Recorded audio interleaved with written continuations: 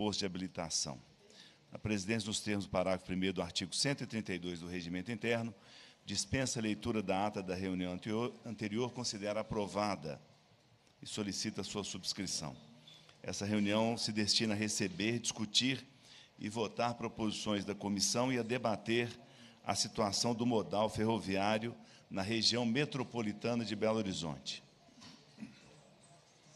A presidência designa a deputada Marília Campos como relatora da visita realizada no dia 16 de agosto de 2018 nos bairros Belvedere e Horto. Designa ainda o deputado Glaicon Franco como relator da visita realizada no dia 13 de agosto de 2018 no município de Conselheiro Lafayette. Passa-se a primeira fase da terceira parte da reunião, que compreende a audiência pública. A presidência, tendo em vista a legislação em vigor que dispõe sobre o calendário eleitoral de 2018, recomenda aos convidados e participantes de reuniões e eventos promovidos por essa casa que evitem seus pronunciamentos conteúdos que possam ser caracterizados como propaganda eleitoral.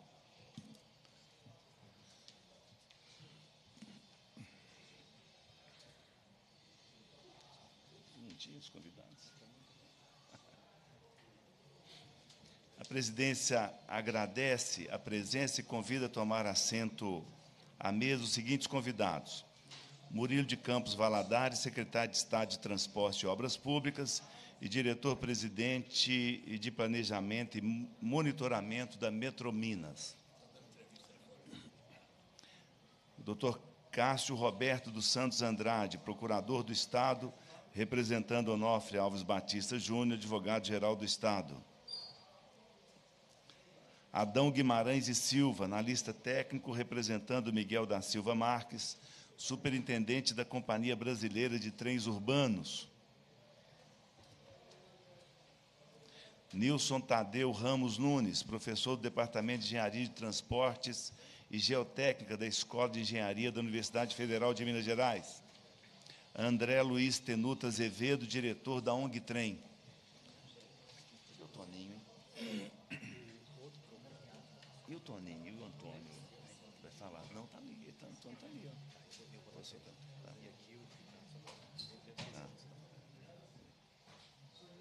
Antônio Augusto Moreira de Farias, conselheiro da ONG Trem.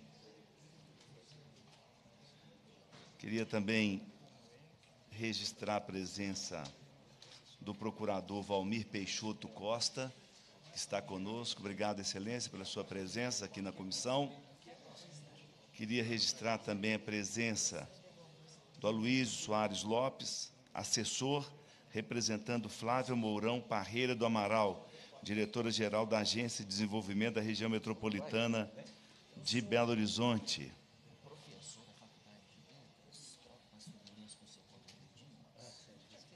Eu queria, inicialmente, também a presença de Ricardo Soares, da Nippon Steel Uzi Minas, acompanhando essa audiência também da Comissão Extraordinária Pro Ferrovias.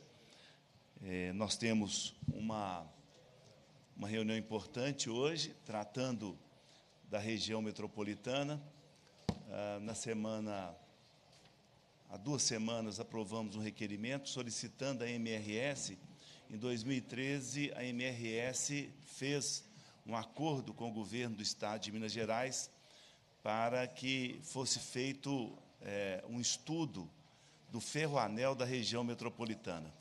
Então, nós estamos aguardando uh, o envio, a resposta da MRS, para que tenhamos esse dado, que é um dado importante também para os trabalhos desta comissão.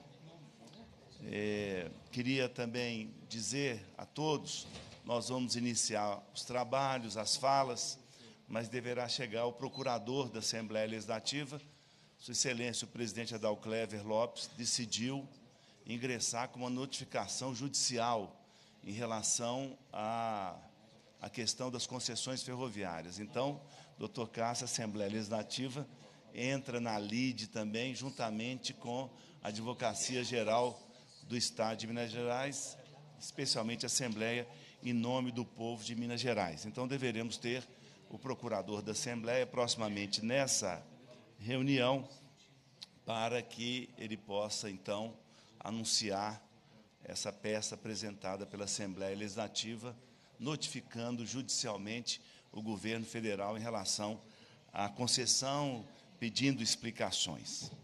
Eu passo a palavra à deputada Marília Campos, que, juntamente com a deputada Ione Pinheiro, são autoras do requerimento que possibilitou essa audiência pública.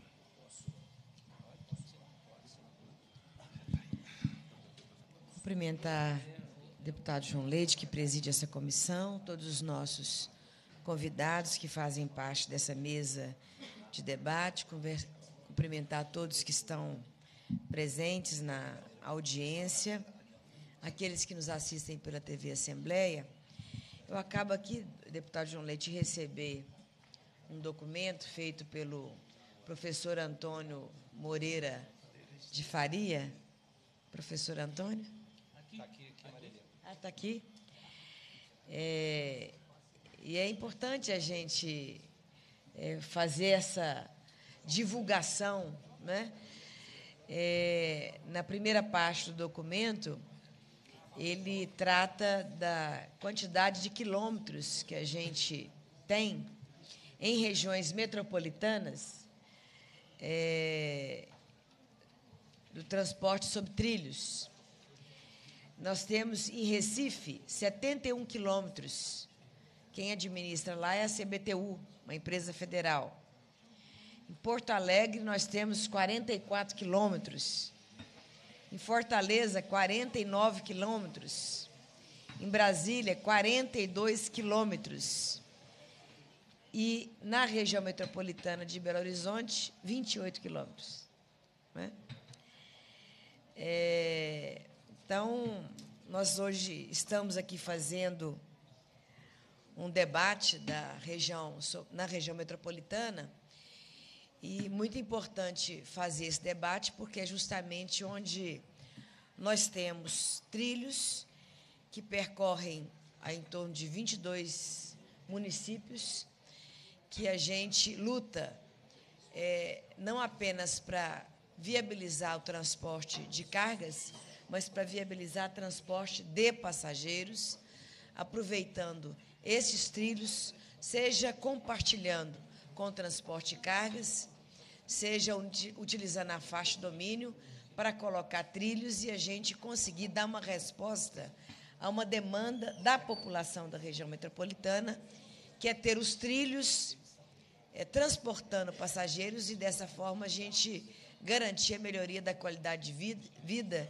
e o direito de ir e vir da população da região metropolitana, que hoje, na minha opinião, tem bastante dificuldade para garantir essa locomoção, uma vez que a prioridade do transporte individual prevalece em toda a região metropolitana. Então, essa é uma audiência importante. Nós temos a presença aqui do governo do Estado, é, que dirige a Metrominas, né, que é importante é, a sua presença aqui, particularmente a sua presença hoje, Murilo, porque eu sei que o governo do Estado tem se empenhado na elaboração de projetos para que a gente dê uma resposta para a região metropolitana no que diz respeito a esse transporte sobre trilhos. Então, espero que a gente faça um bom debate, ressaltando a importância dessa comissão, que tem é, é, polarizado o debate, não só aqui no Estado, na região metropolitana, mas também em nível nacional, é, tendo em vista que o governo federal ele priorizou nesse processo de concessão das ferrovias, ele priorizou o debate é, na região, particularmente no estado de São Paulo, realizando audiências públicas, fazendo o debate acontecer somente nessa região e o que a gente pôde é, testemunhar, não só nas reuniões que nós tivemos em Brasília, na NTT, na comissão na Câmara, é de que a disposição do governo era de fazer investimento fruto dos recursos que poderiam vir das concessões, da renovação das concessões, o investimento era garantido apenas para São Paulo. E o que a gente tem feito é um esforço de fazer com que Minas Gerais também tenha investimento no transporte de cargas e transporte de passageiro, de forma que é, é, esse recurso, em função da renovação das concessões, seja melhor distribuído para os estados que apresentam a demanda de, de investimento ferroviário, seja no transporte de passageiros e transporte também sobre trilhos. E eu acho que a gente tem conseguido polarizar o debate, e o que a gente vê, é, em primeiro lugar, foi o envolvimento do governo do Estado, já através da AGE, entrando com a interpelação é, extrajudicial, provocando o governo federal é, para defender os interesses de Minas Gerais. Eu não sei se já correram os 15 dias é, depois da interpelação, mas, de acordo com os informes que o Onofre deu na última reunião, o governo federal teria o prazo de 15 dias para dar uma resposta à interpelação judicial. Então, hoje é o caso da gente ter alguma informação é, aqui hoje em relação a um posicionamento do governo federal. E a gente também tem visto pela imprensa alguns posicionamentos de que o governo federal é, já estaria é, é mudando o seu posicionamento de que as concessões não seriam feitas ainda este ano. Talvez pela pressão que a gente tem feito, uma vez que esse debate de concessão de ferrovias, ele tem sido pouco feito, tem sido feito de forma pouco transparente.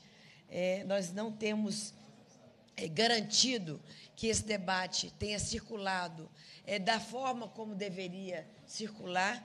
E o que a gente tem visto pela imprensa é um novo posicionamento de que o governo é, estaria com dificuldade de viabilizar é, essa concessão ainda este ano, tendo em vista é, as pressões que foram feitas pelo governador do Espírito Santo e agora por Minas Gerais. Mas a nossa expectativa é de que, é, ocorrendo a renovação das concessões, este ano ou não, que Minas Gerais consiga garantir investimentos para o nosso Estado no transporte sobre trilhos. Essas são as minhas considerações iniciais. Obrigado, deputada Marília. Eu queria registrar a presença também da doutora Raquel Alckmin. Ela é assessora especial da Advocacia Geral do Estado. Obrigado, doutora Raquel, pela sua presença aqui conosco. Também do José Antônio Silva Coutinho, coordenador da Comissão Técnica de Transporte da Sociedade Mineira de Engenheiros. O professor Coutinho está sentado ali, ele é, é, membro honorário dessa comissão, não é mesmo? É, eu queria registrar duas situações. A primeira, esse estudo de 2013 do governo do Estado, que trata do trem metropolitano. Aqui nós temos estudo de três lotes, um deles ligando Divinópolis a Sete Lagoas, passando pela região central, pela região metropolitana, passando inclusive pelo Aeroporto Internacional de Confins. Essa linha, na verdade, já existe. É, a estação mais próxima de Confins é Doutor Lund, que pertence a Pedro Leopoldo e fica a 3,5 km justamente de, do aeroporto de Confins. Depois o lote 2, com dois ramais, um que sairia de Águas Claras, Belvedere, e iria até o Inhotim, e o outro da região da Estação Central de Belo Horizonte até Brumadinho. Esse é do nosso tempo, não era um subúrbio que existia. E o lote 3, uma ligação de Belo Horizonte, passando por General Carneiro, eu recebi esse presente de um grande amigo, que é a estação histórica de General Carneiro, Vejam como que era uma estação, a estação de General Carneiro, uma estação muito movimentada. Ela, ela tinha um subúrbio que saía de Belo Horizonte, passava General Carneiro, ia Rio Acima, Nova Lima. E esse lote 3, então, ele, de alguma forma, aqui para homenagear a briga do Gerson lá em Viçosa, ele lembra da linha mineira, porque ligaria Belo Horizonte, primeiro, teria um, um ramal para é, Ouro Preto, Ouro Preto, Mariana, E aí a gente relembra a linha mineira, tem uma multa que está sendo cobrada pelo abandono dessa linha. É, Mariana Barra Longa, Barra Longa Acaiaca, Acaiaca Ponte Nova, Ponte Nova Teixeiras, Viçosa, e desceríamos, ou descíamos, até o Rio de Janeiro. É, essa linha foi abandonada e o sonho dos ferroviaristas aqui presentes, na verdade, são os que estão gritando aí pré-historicamente, eles estão todos aqui nessa reunião, né? nós só fazemos parte, né, Marília? Mas quem, quem manda são eles mesmos que estão lutando há, tempo, há tanto tempo e falarão. Então, e também uma outra linha de Miguel Bournier até Conselheiro Lafayette. Teríamos um trem de passageiro, então, até Conselheiro Lafayette, até Brumadinho, e uma ligação de Divinópolis um sonho, né? A pessoa entrar num trem em Divinópolis e pegar o avião com seu trem de aterrissagem no aeroporto internacional de Confins, né? Este é um sonho. Esse estudo, Márcio aqui da nossa assessoria, tirou várias cópias desses lotes, estão aqui, estão à disposição de todos, né? Não temos para todos, mas temos várias cópias aqui desse estudo da região metropolitana. Então, eu quis trazer, é, não abro mão, mas para a exposição a gente permite, não é? Mas o quadro é meu, eu ganhei e não dá para compartilhar só assim em público, né? Eu, eu quero tê-lo sempre comigo. Tenho outros quadros de estações também, da estação de Velho da Taipa, onde meu avô foi do telégrafo, mas eu gosto muito da estação de Bernardo Monteiro também, fico brigando com Marília Campos. Ela acha que ela é a dona, mas eu acho que sou eu, porque meu tio Zé Leite já foi chefe da estação de Bernardo Monteiro e nós ficamos nessa luta. Eu queria inicialmente, com a permissão de todos, passar a palavra ao procurador da Assembleia Legislativa de Minas Gerais, doutor Renato Pessoa. Doutor Renato, por favor, o senhor use o microfone, então, para anunciar a decisão do deputado presidente da Assembleia, Dalclever Lopes, em relação às concessões ferroviárias.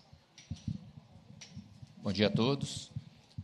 Parte da Procuradoria, a presidência da, da Assembleia nos requisitou que fizesse, fosse feita uma notificação judicial é, em face da União e da Agência Nacional de Transportes Terrestres, a NTT, no sentido de, na mesma linha do que fez também a, o Estado de Minas Gerais através da sua Procuradoria, questionar a situação da renovação do contrato de concessão com a Vale da Estrada de Ferro Vitória Minas. Então, nesse sentido, elaboramos uma notificação judicial, que será distribuída eh, oportunamente, em breve, é, com o seguinte teor, pedindo os seguintes questionamentos em relação tanto à União Federal quanto à NTT, que encaminhe, no prazo máximo de 10 dias, a íntegra da documentação pertinente ao pedido de renovação do contrato de concessão da Estrada de Ferro Vitória Minas, formulado pela Vale SA, bem como todo o processo administrativo subsequente ao requerimento, incluindo os estudos técnicos necessários para o juízo de valor quanto à economicidade ou não da renovação, esclarecendo minuciosamente quais as deliberações que tenham sido tomadas e quais as medidas de negociação que eventualmente tenham ocorrido.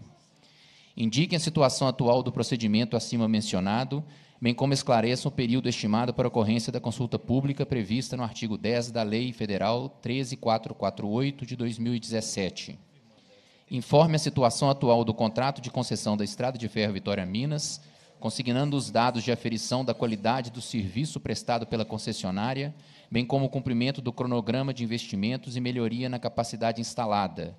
E, por fim, esclareço a pertinência ou não das informações jornalísticas que noticiam que a contrapartida pela renovação antecipada da concessão seria a construção da Ferrovia de Integração Centro-Oeste, FICO, que ligaria o município de Água Boa até Capinorte. Essa notificação judicial será distribuída e, em breve, será recebida pela União Federal e pela Agência Nacional de Transportes Terrestres, aguardando o prazo dado para que essas informações sejam prestadas. Obrigado. Obrigado, doutor Renato. É importante as manifestações do governo do Estado, a manifestação da Assembleia Legislativa e as manifestações né, da sociedade civil são muito importantes. A deputada Marília é, acredita mais do que eu, né? ela está na esperança de não ter a concessão. Mas eu fico preocupado, as, as audiências estão marcadas. Dia 10 nós teremos audiência da NTT aqui em Belo Horizonte, na Assembleia Legislativa. Dia 12 em Patinga. E faltarão três em Minas Gerais, Montes Claros, Juiz de Fora e Divinópolis. Portanto, o processo caminha. Então, a manifestação do governo do Estado, da Assembleia, de todos nós, ela é muito importante para que Minas Gerais não perca os seus direitos, né? direitos é, líquidos e certos. Deputado, pois só um parênteses. Disse deputada Marília Campos. Pois não. É só para lembrar de que Minas Gerais, é, mar, a marcação das audiências em Minas Gerais, uma conquista fruto da luta dessa comissão e do apoio dos deputados e deputadas que estiveram em Brasília, porque a Minas Gerais não estava no mapa de realização de audiências públicas e só foram marcadas depois da presença dessa comissão em Brasília. Né? Então, é, nós, eu tenho uma expectativa de que não se realize as antecipações, a antecipação da concessão, mas a gente não pode ficar esperando, né? Enquanto isso não acontece, que na minha opinião seria o ideal, nós temos que lutar para que, caso aconteça, Minas consiga garantir os investimentos para cá. Muito bem lembrado, né? Estivemos em Brasília, na NTT, e nos acompanhou o deputado Domingos Sávio, depois estivemos com a deputada Margarida, João Moraes, João Moraes estiveram na reunião da da Comissão de Viação e Transporte, que o deputado Domingos Sávio preside. Eu queria registrar com muito prazer também aqui a presença do secretário-geral da mesa da Assembleia, doutor Guilherme Ribeiro, e do doutor Marcelo Fonseca, diretor do processo legislativo da Assembleia Legislativa. Nós estamos com, nós estamos com cartaz, viu, Marília? Vê que estão todos aqui conosco. Eu queria agora me organizar aqui para concedermos a palavra. É, queria solicitar, assim, da, das nossas autoridades, que honram muito com suas presenças, né? doutor Murilo, a representação é, da nossa Advocacia Geral e também da CBTU, nós vamos ouvir primeiramente a sociedade civil, doutor Murilo, queria a compreensão de todos, para que a gente pudesse até conhecer né, o que eles estão acompanhando é, desde sempre. Não é? Nós vamos passar inicialmente, então, a palavra ao Nilson Tadeu Ramos Nunes, professor do Departamento de Engenharia de Transportes e Geotecnia da Escola de Engenharia da Universidade Federal de Minas Gerais. Só um pouquinho, professor Nilson, também citar ah, o Observamos BH, como seu observador metropolitano da mobilidade. Eles estão aqui conosco. É? Muito obrigado pela presença e a contribuição com esta comissão. Já recebemos, né? fique à vontade para compartilhar esses dados aí tão importantes com todos que estão acompanhando. Muito obrigado pela presença. Professor Nilson, obrigado pela presença. O senhor tem a palavra, professor. Obrigado, deputado Leite, é, a quem eu cumprimento todos da mesa, senhores e senhoras. É, primeiro, muito obrigado por ter essa oportunidade de estar aqui nessa importante comissão. Né? É, particularmente, eu tenho acompanhado aí a, a, a, deputada Marília Campos já há algum tempo de estrada, né, deputada? Em várias audiências, né? sempre é, no sentido é, de discutir e tentar achar soluções né, para esse importante ativo ferroviário que nós temos no Estado, né? E que em, muito, em muitos casos estão sendo desmontados, né? É, principalmente por ausência é, de ação do governo federal. Né? É, eu mesmo tenho experimentado isso, eu participei de vários grupos de, de trabalho junto ao Ministério do Transporte, junto à NTT, junto a, a, ao Congresso Nacional, na, na Comissão Parlamentar Mista. É, e a maior dificuldade que nós tínhamos, principalmente, é que toda a discussão sempre centrava é, na questão do transporte de carga. Né? E o transporte passageiro sempre ficava né, em, segunda, em segunda instância, e a gente nunca conseguia discutir propriamente. Né? Então, é, de, desse, desse aprendizado, né, e sempre tentando na universidade, acho que é importante também que a gente fale isso, o que, que nós temos feito na Escola de Engenharia da, da UFMG. Né, Para quem não sabe, a Escola de Engenharia, é, é, o Dr. Murilo Roladares aqui foi é, egresso da Escola de Engenharia e sabe que a escola é, foi formada por notórios engenheiros ferroviários, né, e também o meu departamento, departamento de Engenharia e Transportes, é, o último deles, o professor Brina, que até hoje é referência nacional na, na, na em tudo que se fala de projeto de, de, de, engenharia ferroviária. Então, assim, nós temos toda uma história né, para resgatar. E esse foi meu compromisso desde que eu voltei do doutorado na Inglaterra, foi também na área de transporte sobre trilhos, porque eu já tenho uma vinculação estreita com essa, com essa área desde criança. Né? Eu morava próximo à ferrovia e, e assim, naquela época, né, que a gente muito longe desse meio digital que a gente vive hoje, né, o grande sonho de criança era ter um, era um, ter um trem, aquele trenzinho né, elétrico que rodava na, em casa, que a gente tinha essas oportunidades. E por que isso? Porque isso estava no nosso sangue, isso fazia parte do nosso dia a dia. Né? É, a, a, quantidade de trens regionais que a gente encontrou e, e linhas que foram abandonadas, que, que é, fizeram desenvolvimento de, da, do país, não foi só do, do, estado de Minas Gerais, sendo que aqui é, é, o, é o, maior, maior ramal ferroviário.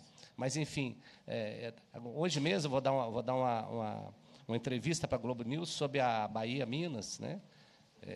Você vê uma ferrovia de 1800 que foi responsável pela criação de várias cidades no, na, no Vale de Equitinhonha e, e, sim, no sul da Bahia, que simplesmente foi abandonada, né? com é, é, super produtivo e foi abandonado e transportava. Era carga e passageiros. Né? Então, é, a gente tem assistido todo esse processo e tem tentado achar. Na universidade, o que, é que a gente tem feito? Uma coisa que nós temos tentado resgatar é o ensino e a pesquisa na área da engenharia ferroviária. Por isso, essa interface com essas comissões, esses movimentos que têm acontecido no Estado e no país, no sentido do retorno, do, principalmente o transporte regional de passageiros. Então, nós temos feito vários acordos é, nacionais e internacionais no sentido de formar mão de obra, resgatar de novo a pesquisa, porque isso foi esquecido né, nos últimos 40, 50 anos. Né? Então, tentando fazer a nossa parte. Mas a gente vê que, do outro lado, pouca coisa está acontecendo. Né? E hoje mesmo, participando aí com o nosso querido engenheiro Coutinho, também ferroviário notório, né, lá na Sociedade Mineira de Engenheiros, né, mais dois colegas aqui, o Rodrigo e o Birajara também que fazem parte lá da, dessa, desse grupo né, é, dedicado a essa questão específica da ferrovia, é, o que, que a gente tem visto é o seguinte: é, ideias são muitas, né, mas tem, a gente tem dificuldade de progredir com elas, né, e por isso é muito importante é, que, que os parlamentares do Estado se juntem nesse sentido, porque um dos grandes problemas que nós temos é você pode ter a melhor ideia do mundo, mas chega em Brasília para discutir, não tem com quem discutir, não existe interlocução. Não existe um responsável. Né? A questão dos transportes, deputado, ele, ela está dividida em vários setores. Parte está no DENIT, parte na NTT, parte do Ministério das Cidades, parte do Ministério dos Transportes, enfim, e ninguém decide nada. Então, esse é um grande problema que nós temos, né? essa questão institucional. Esse talvez seja o grande desafio, primeiro, a gente tentar achar no governo federal ou montar uma interlocução. Tá? Esse é o primeiro ponto. Outra coisa que preocupa, e, e aí foi bem interessante essa ação que estão fazendo com relação à concessão, e eu diria que a gente, o Estado poderia avançar mais, é no sentido, e aí eu acho que o parlamento também poderia é, desenvolver esforço no sentido que a gente garanta a manutenção desses ativos aqui do Estado. Tá? Não adianta ficar no governo federal, porque é, eu já tive algumas reuniões lá com, na época que era a resposta. Eles são doidos para se livrar dessa, dessa incumbência de fiel depositário dos ativos. E com isso, como ninguém toma conta, passo a passo está sendo desmontado. Né? Esse ativo que nós temos, então a gente tem que cuidar disso. Tá? E uma forma de cuidar, se está aqui no Estado, eu acho que o Estado, ou quem de direito, ou através de alguma empresa, tomasse conta. Não, vamos assumir é, esses ativos ficar aqui. Aí depois vamos discutir o que fazer. Né? Que ideias são muitas, a gente tem algumas possibilidades né, de estudos, pesquisa e até talvez é, é, buscar parcerias. Mas o que não pode é a gente assistir né, é esse desmonte. Né, como já aconteceu em vários ramais, o senhor estava citando o general Carneiro mesmo, né, até Rio acima, não existe mais nada. Né? Quer dizer, o que você tem é, é arrancar os trilhos e fizeram ferrovia. Esse ramal mesmo de Águas Claras até o Barreiro, né, também né? já foi arrancado grande parte. Né? E não sei, tem, tem, tem essa informação, inclusive, que a Secretaria de Patrimônio da União passou esse ramal para a Caixa Econômica para que você fosse loteado. Quer dizer, é um absurdo, isso sem nenhuma discussão prévia. E, e, uma coisa tão importante, essa região ali, do Belvedere, ali de Nova Lima até Belo Horizonte, que a gente vê hoje o caos que é para a circulação, quer dizer, então está se perdendo essa oportunidade. Né? Então, eu, eu acho que é, uma comissão como essa, esse debate, é importante nesse sentido, de a gente encontrar meios de organizar essa situação. Tá? E a gente não pode ficar mais parado. Nós estamos, nós estamos já discutindo isso. Eu voltei, de, em 95 da Inglaterra, a gente começou a discutir essa questão das ferrovias. E até hoje, pouca coisa andou. Né? E são várias ONGs envolvidas. Né? Já tivemos vários é, debates aqui mesmo na Assembleia, mas pouca coisa andou. Então, eu acho que, é nesse sentido, mais uma oportunidade para a gente resolver essa questão.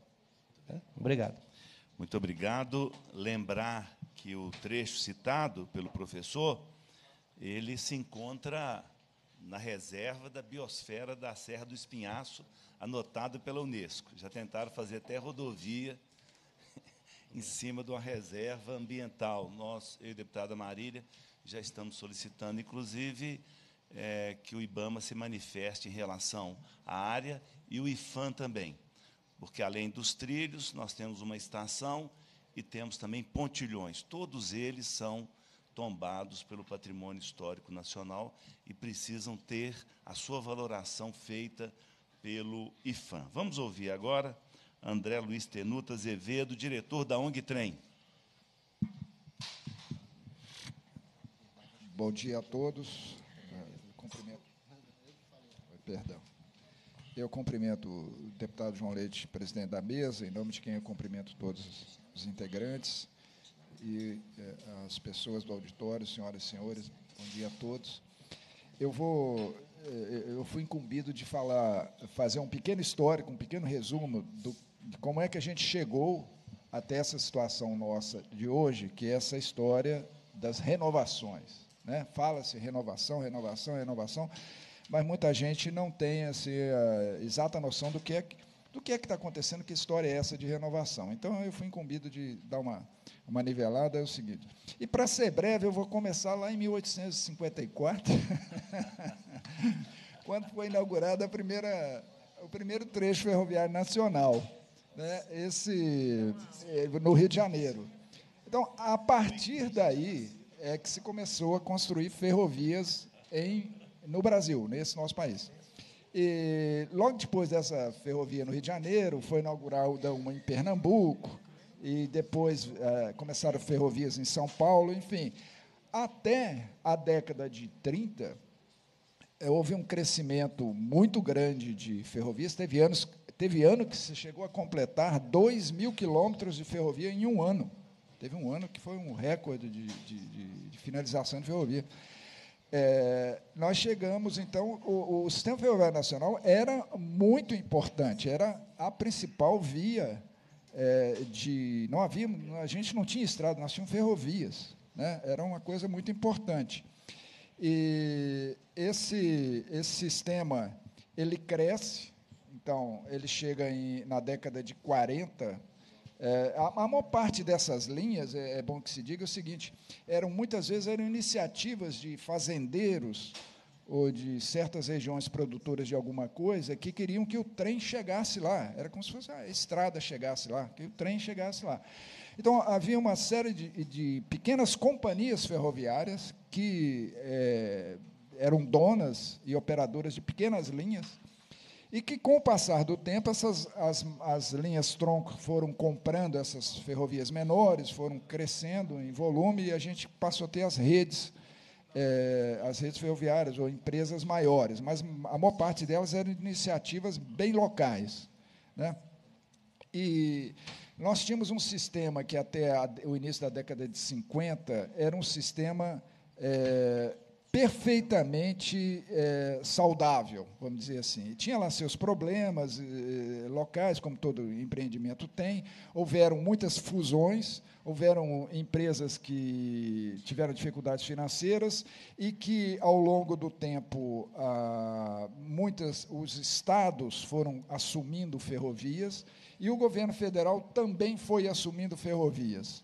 É, mas a gente tinha, um, até o início da década, um pouco antes da década de 50, um sistema ferroviário é, superavitário. Ele, ele, era, ele batia com o que ele gastava, ele, ele conseguia expandir por si só. Bom, a partir de, da década de 50, 1945 especialmente, a gente começa a ter déficits crescentes é, na ferrovia. As ferrovias já eram quase todas é, pertencentes ao Estado, ou estaduais ou federais, e, mas começa-se a ter déficits crescentes. Esses déficits eram, foram frutos de, essencialmente, de controles é, irreais de tarifas. Então, as tarifas começaram a ser controladas politicamente, de forma que quem pagava a conta era a ferrovia, em primeiro lugar, o sistema ferroviário, que não conseguia ter mais sustentabilidade e que o prejuízo, no final, vinha é, sendo coberto pelos governos estaduais e federais.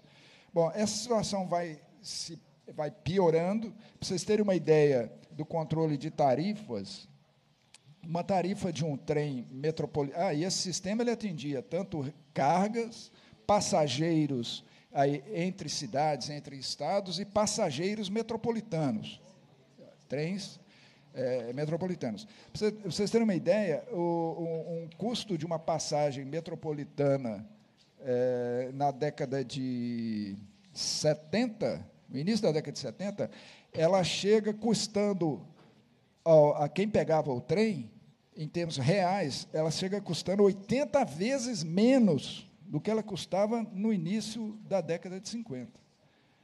Em outras palavras, você precisaria transportar, encher dois vagões de gente para pagar o que um passageiro pagava no início da, no, na, nos meados da década de 40. Então, é, foi uma, um, um, uma coisa assim, colocada, um, um peso colocado na, na, em cima da, da, das ferrovias estatais que elas não tinham como é, sustentar. Né? E, então, o que, o que, que acontece é que, apesar do esforço técnico, apesar do, apesar do esforço dos técnicos e dos trabalhadores da, da, da, da rede ferroviária, eles, eles nunca conseguiam sair do déficit, eles, e, em função do déficit, eles não conseguiam ter os investimentos técnicos necessários para a expansão e para melhoria de serviço porque era brutalmente deficitário por conta do controle de tarifas. Né? E isso vai se agravando ao longo do tempo. Né? É, eu diria mesmo que é, é, é uma coisa que é, é um, é, foi a melhor palavra que descreve isso é uma sabotagem. Né? E, então, nós chegamos na década de 90, que é a década da privatização de, de muita coisa, que precisava realmente ser privatizada, mas a rede ferroviária ela chega totalmente nocauteada na década de 90, por conta desse tipo de, de, de, de situação.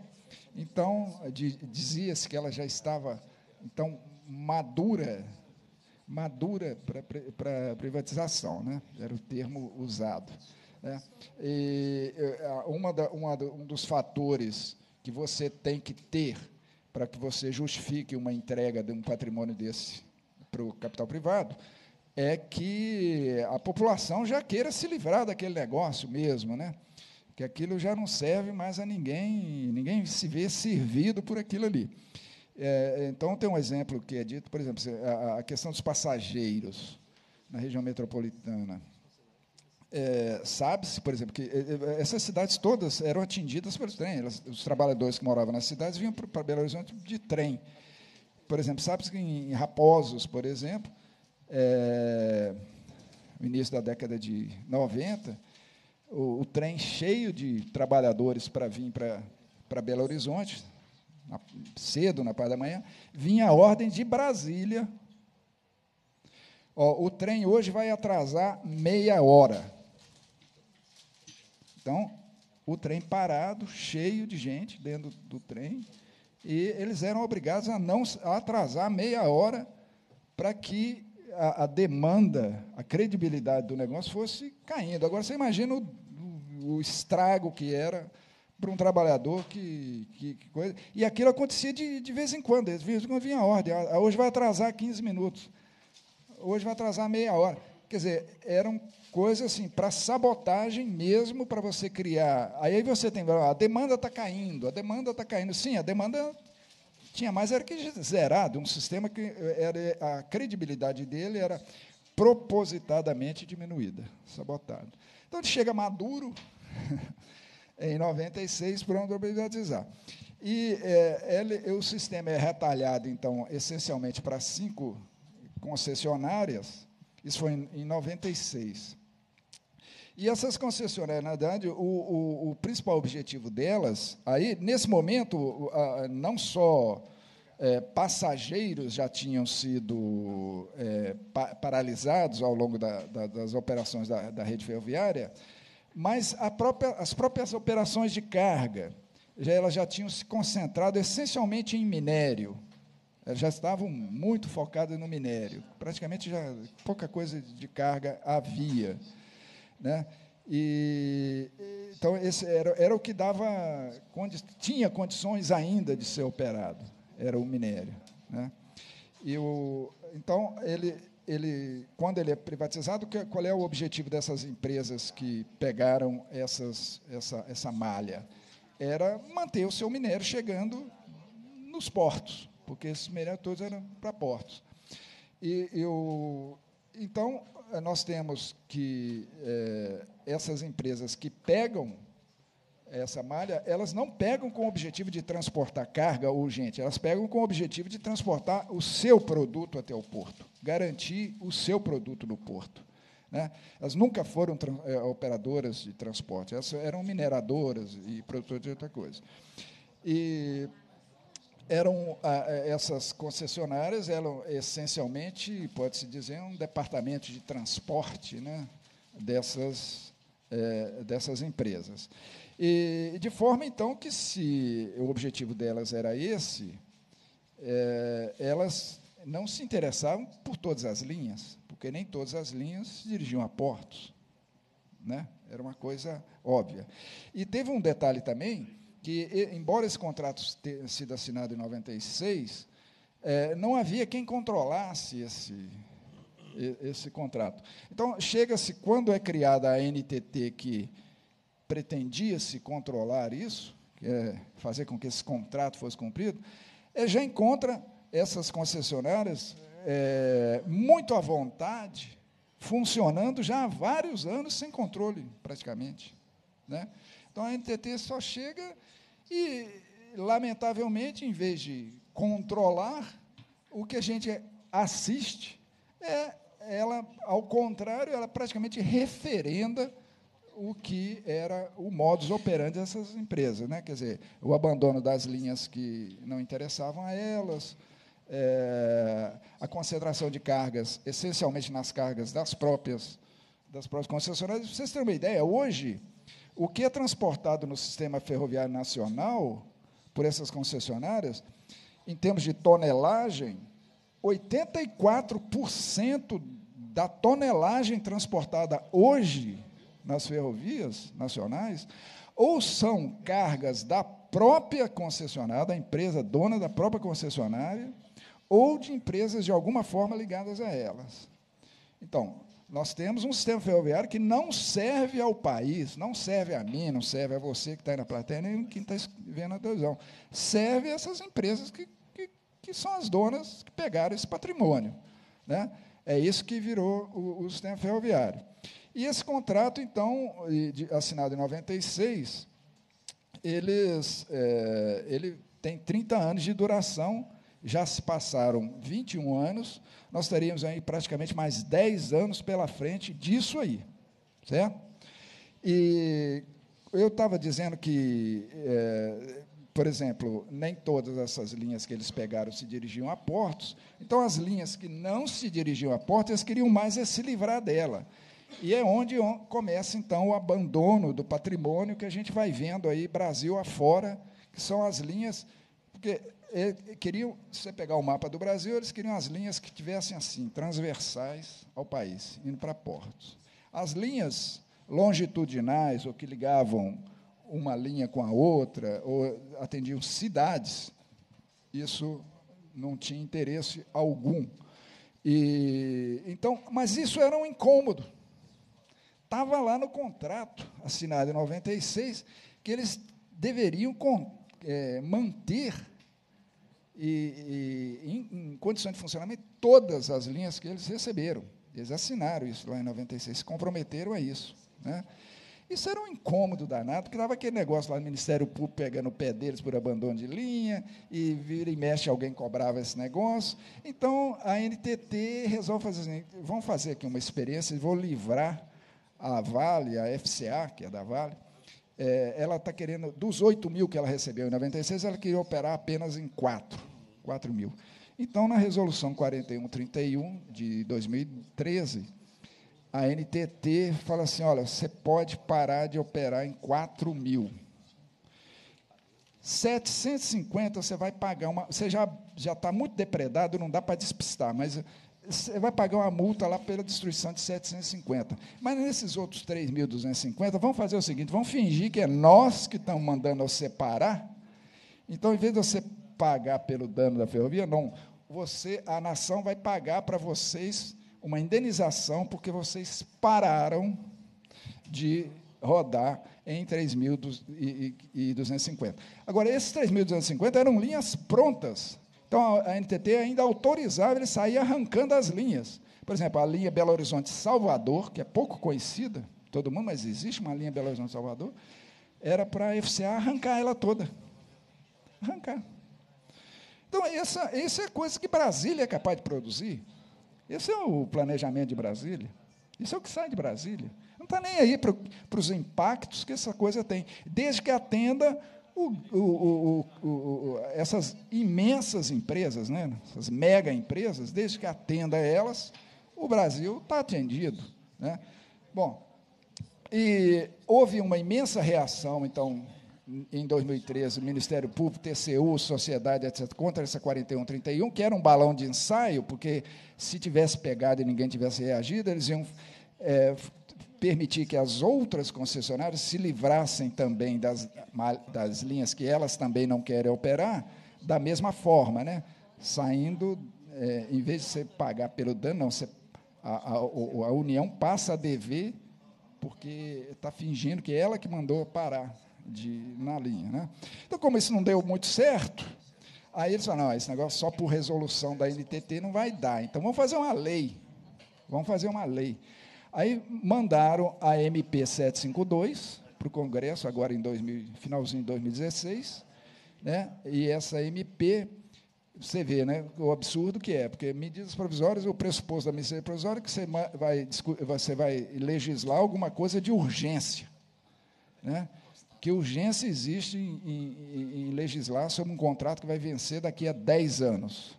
É zero de urgência. Então, é brutalmente inconstitucional, mas não apenas por isso é, a, inclusive, a, a, PGR acaba de entrar com um, um, uma, uma ação contra, contra a Lei 13448, que é a MP convertida em lei, ela ganhou esse número, é, 13448. Então, a, a PGR acaba de entrar com uma ação de arguição de inconstitucionalidade da própria lei, alegando não só isso, mas outros, vários outros problemas. Né? É, essa lei, então, ela é que permite, entre outras coisas, a renovação que tanto se fala. Certo? É, é, essa, essa renovação, então, eles embutiram nessa lei, nessa MP, é, tudo que eles não conseguiram lá, é, apenas com resoluções da NTT em 2013, né?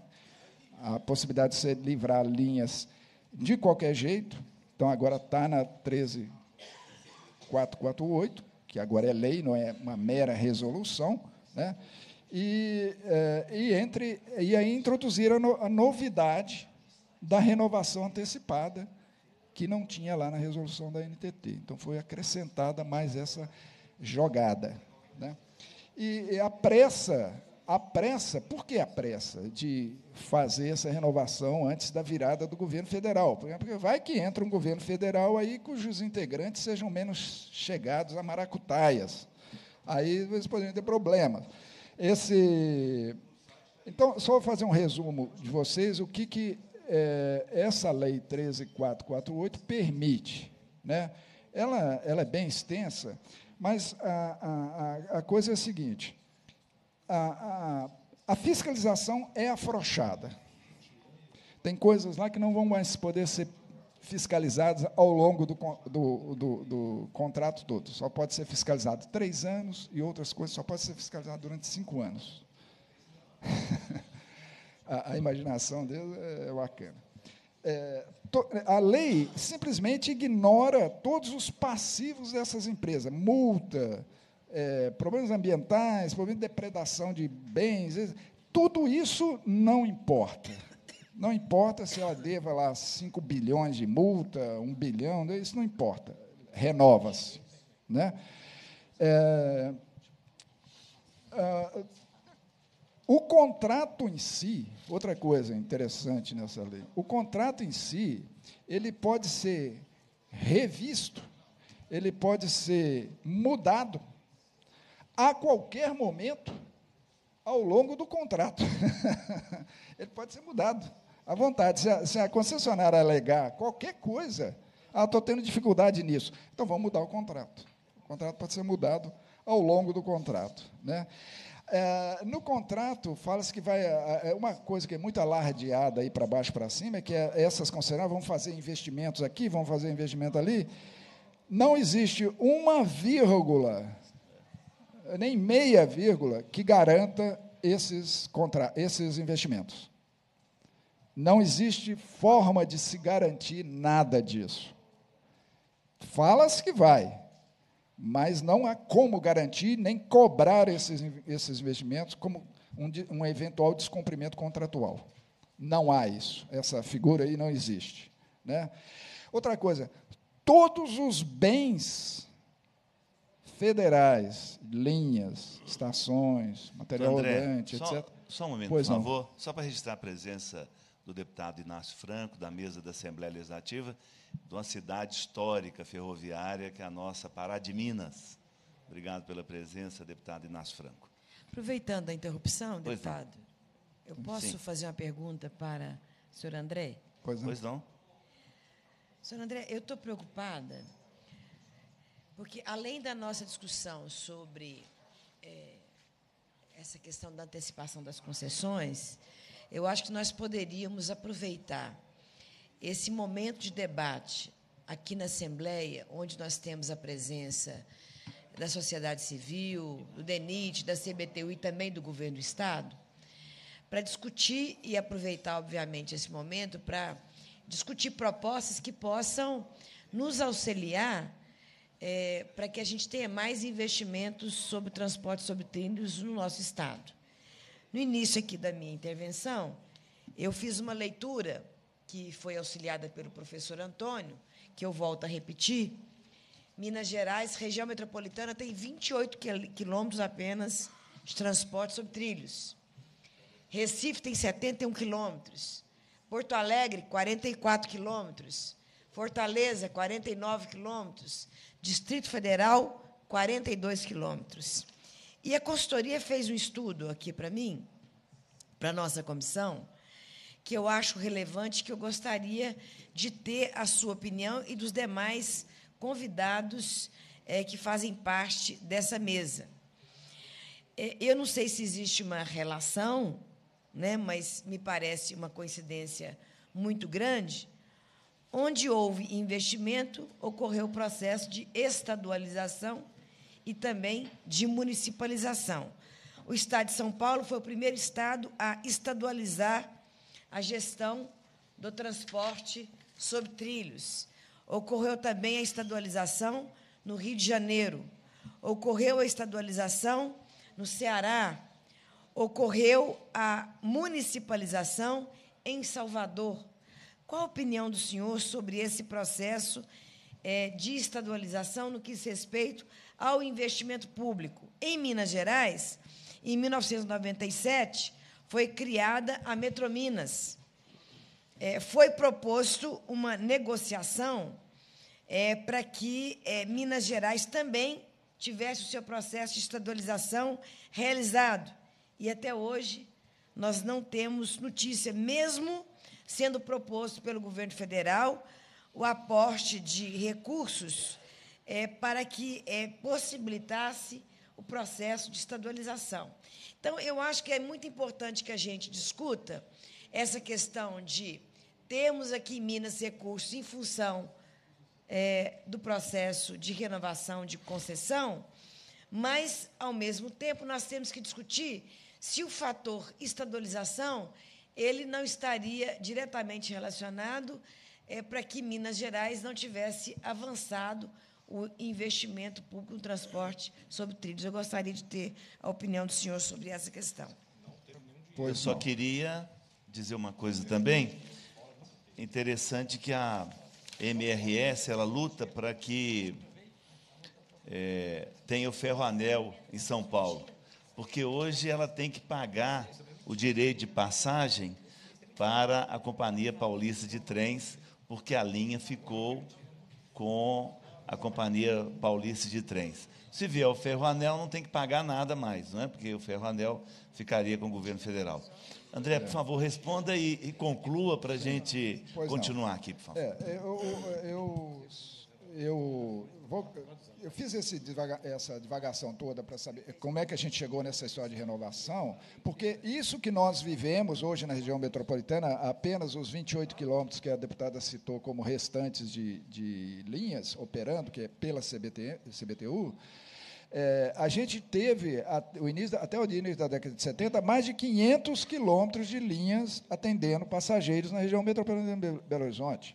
Então, esse desmonte ele faz parte, ou fez parte, do que foi necessário para colocar a rede ferroviária, vamos dizer assim, como madura para ser privatizada. Então, o que se, o que se discute hoje, a retomada ferroviária na região metropolitana, ela tem totalmente a ver, tem a ver com a renovação, porque a renovação é a renovação disso que está aí por mais 40 anos.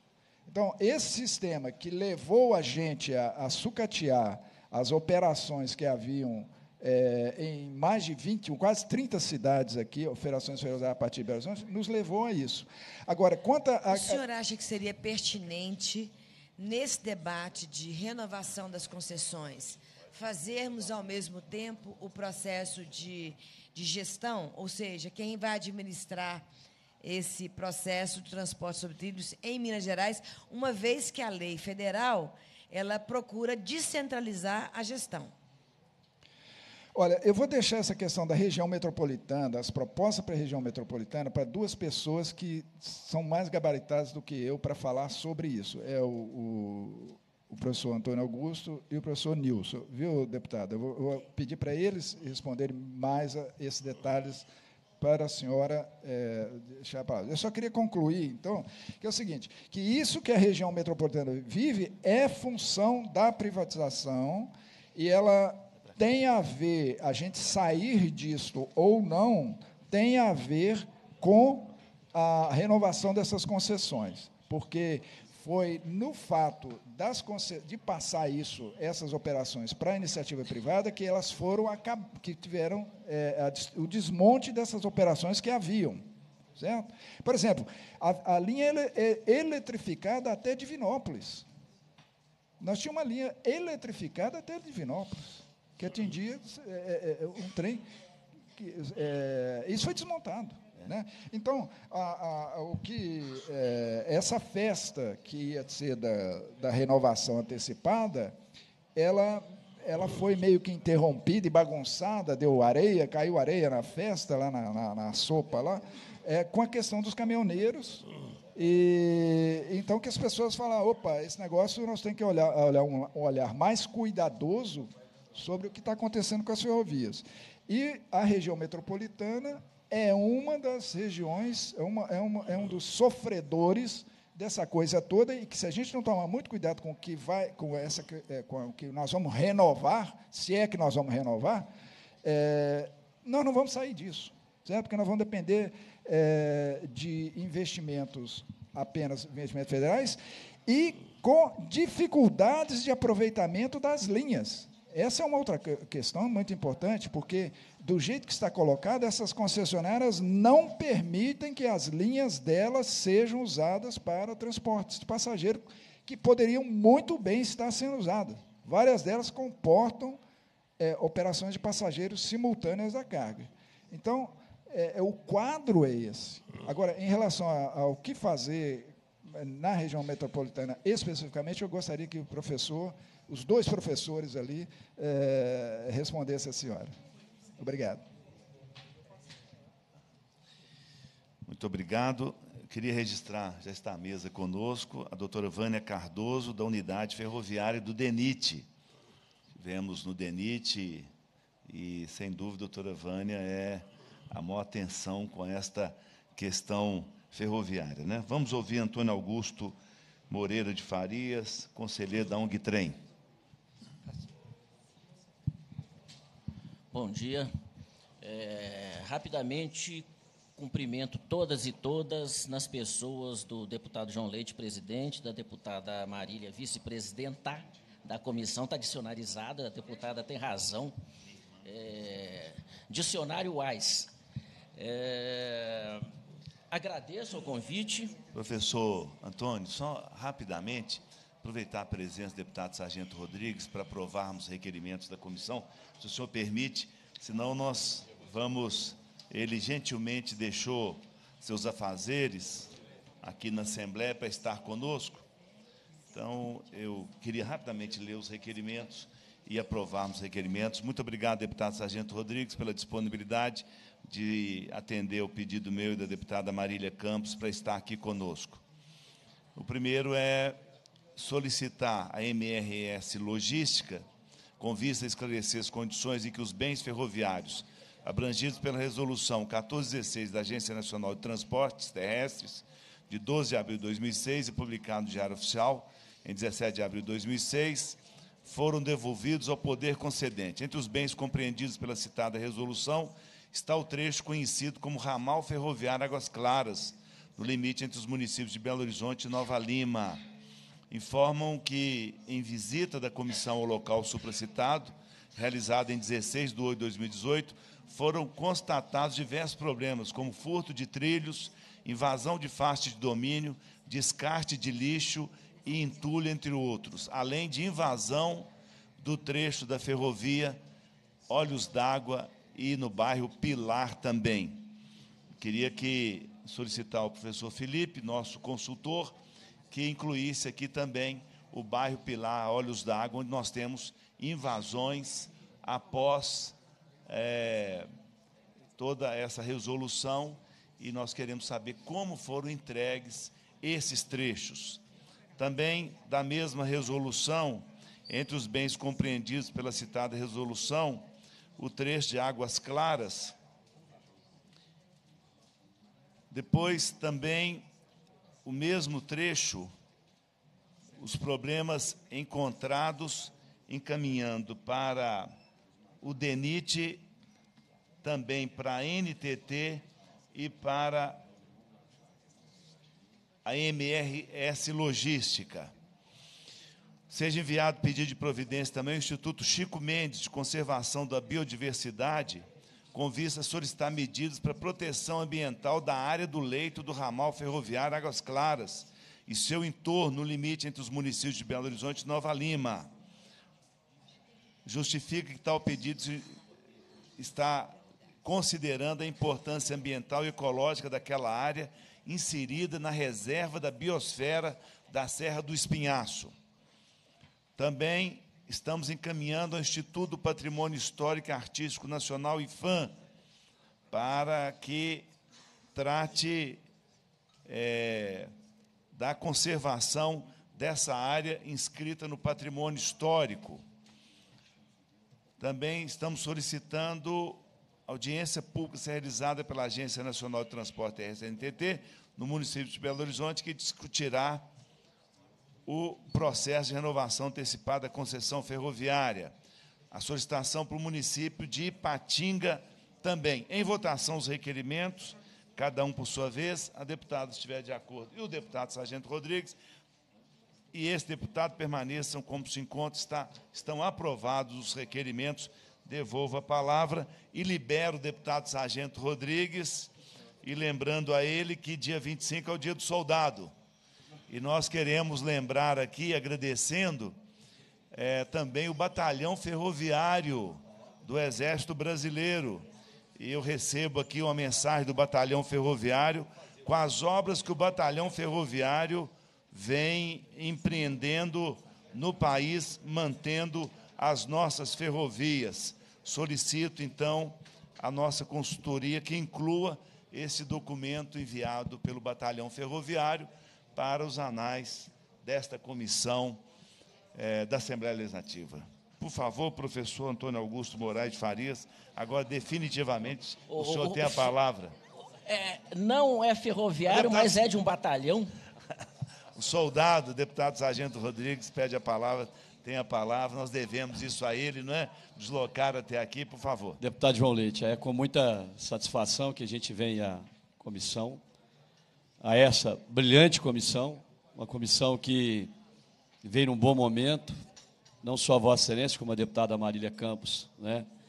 Essa comissão está muito bem, eu diria, composta né, por seus membros, porque tem um presidente e uma vice-presidente que são deputados e deputada, deputado e deputada, sérios, honrados, trabalhadores e que honram os votos dos mineiros. Então eu fico muito à vontade toda vez que eu sou solicitado e como bom soldado, nós viemos aqui cumprir a missão. Missão dada é missão cumprida. Mas é com prazer que a gente vem a essa comissão. Todas as vezes que Vossa Excelência ou a deputada Marília Campos nos convidar ou nos convocar, nós estaremos aqui para dar o coro. Lembrando que a malha ferroviária brasileira precisa mais do que nunca ser revitalizada, ter um olhar não só com uma vontade política. Nós precisamos de uma determinação política, seja de quem for, uh, presidente da República, com certeza. Né? Aqui também em Minas Gerais, nós, tanto eu, a deputada Marília Campos, o deputado João Leite, estamos aqui para poder fazer essa cobrança, fazer essa lembrança e reavivar a memória desse setor e das pessoas que estão à frente desse setor. Nós sabemos que nós temos lideranças empresariais, políticas importantes que querem a revitalização dessa malha ferroviária, seja do transporte de cargas ou de passageiros.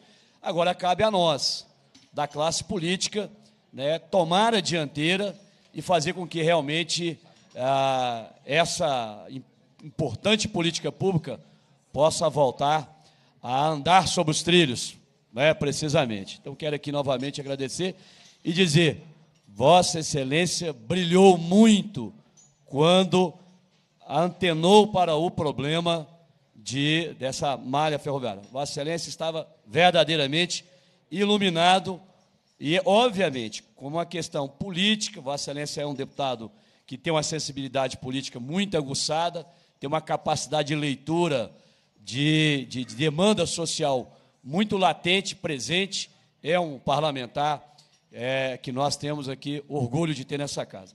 Mas parabéns, tanto a Vossa Excelência como a deputada Marília Campos, e obviamente a toda a mesa que se faz presente aqui hoje. Em é, necessitando, como nós sabemos que eu, o soldado está pronto. E aí, em homenagem, o deputado João Luiz já lembrou aqui, dia 25 de agosto, o dia do soldado. Eu, como um bom soldado, apesar de ser segundo sargento da reserva, da Polícia Militar, mas como um bom soldado, que todo militar é, seja ele soldado ou coronel, ele é soldado. Né? Ele está pronto para cumprir a missão. Mas parabéns a essa brilhante comissão. Vossa Excelência e a deputada Marília Campos estão de parabéns por ter pautado essa matéria na casa. Obrigado, deputado Sargento Rodrigues. Agora sim, então, professor Antônio Augusto Moreira de Farias tem a palavra. Deputado João Leite, eu lhe passo, e aos demais membros da banca, da, da mesa, desculpe, a compilação de alguns dados relativos ao nosso assunto aqui de hoje. É, transporte sobre trilhos na, na, região metropolitana de Belo Horizonte. É, o roteiro que todos já devem ter recebido, agradeço ao engenheiro Birajara Bahia a ajuda, é, eu vou começar a discutir isso pela segunda metade, para que fique mais clara a compreensão de alguns aspectos da primeira parte, aqueles dados comparativos de, da nossa região metropolitana e outras regiões de porte equivalente no Brasil. É, fazendo aí um, tentando compreender um espaço pouco maior que uma geração, né, aproximadamente 50 anos. É, em 1969, a nossa região metropolitana, é, que hoje tem os 28, apenas os 28 quilômetros de metrô, estritamente na região metropolitana, no chamado colar metropolitano, nós temos um pouco mais de 70 quilômetros atendidos, porque o trem de passageiros da Vale, Belo Horizonte, Pedro Nolaço, na, na, Grande Vitória, ele atende a Barão de Cocais e Santa Bárbara, estação de dois irmãos. É, mas então, esses, tudo isso é o que sobrou para os passageiros de uma rede com mais de 520 quilômetros de trilhos percorridos por trens de passageiros, como os senhores podem ver aí no roteiro. 111 quilômetros no trecho é, Belo Horizonte, Betim, Brumadinho, Caeté, Contagem, Ibirité, Juatuba. É, ah, perdão, perdão, é, troquei aqui.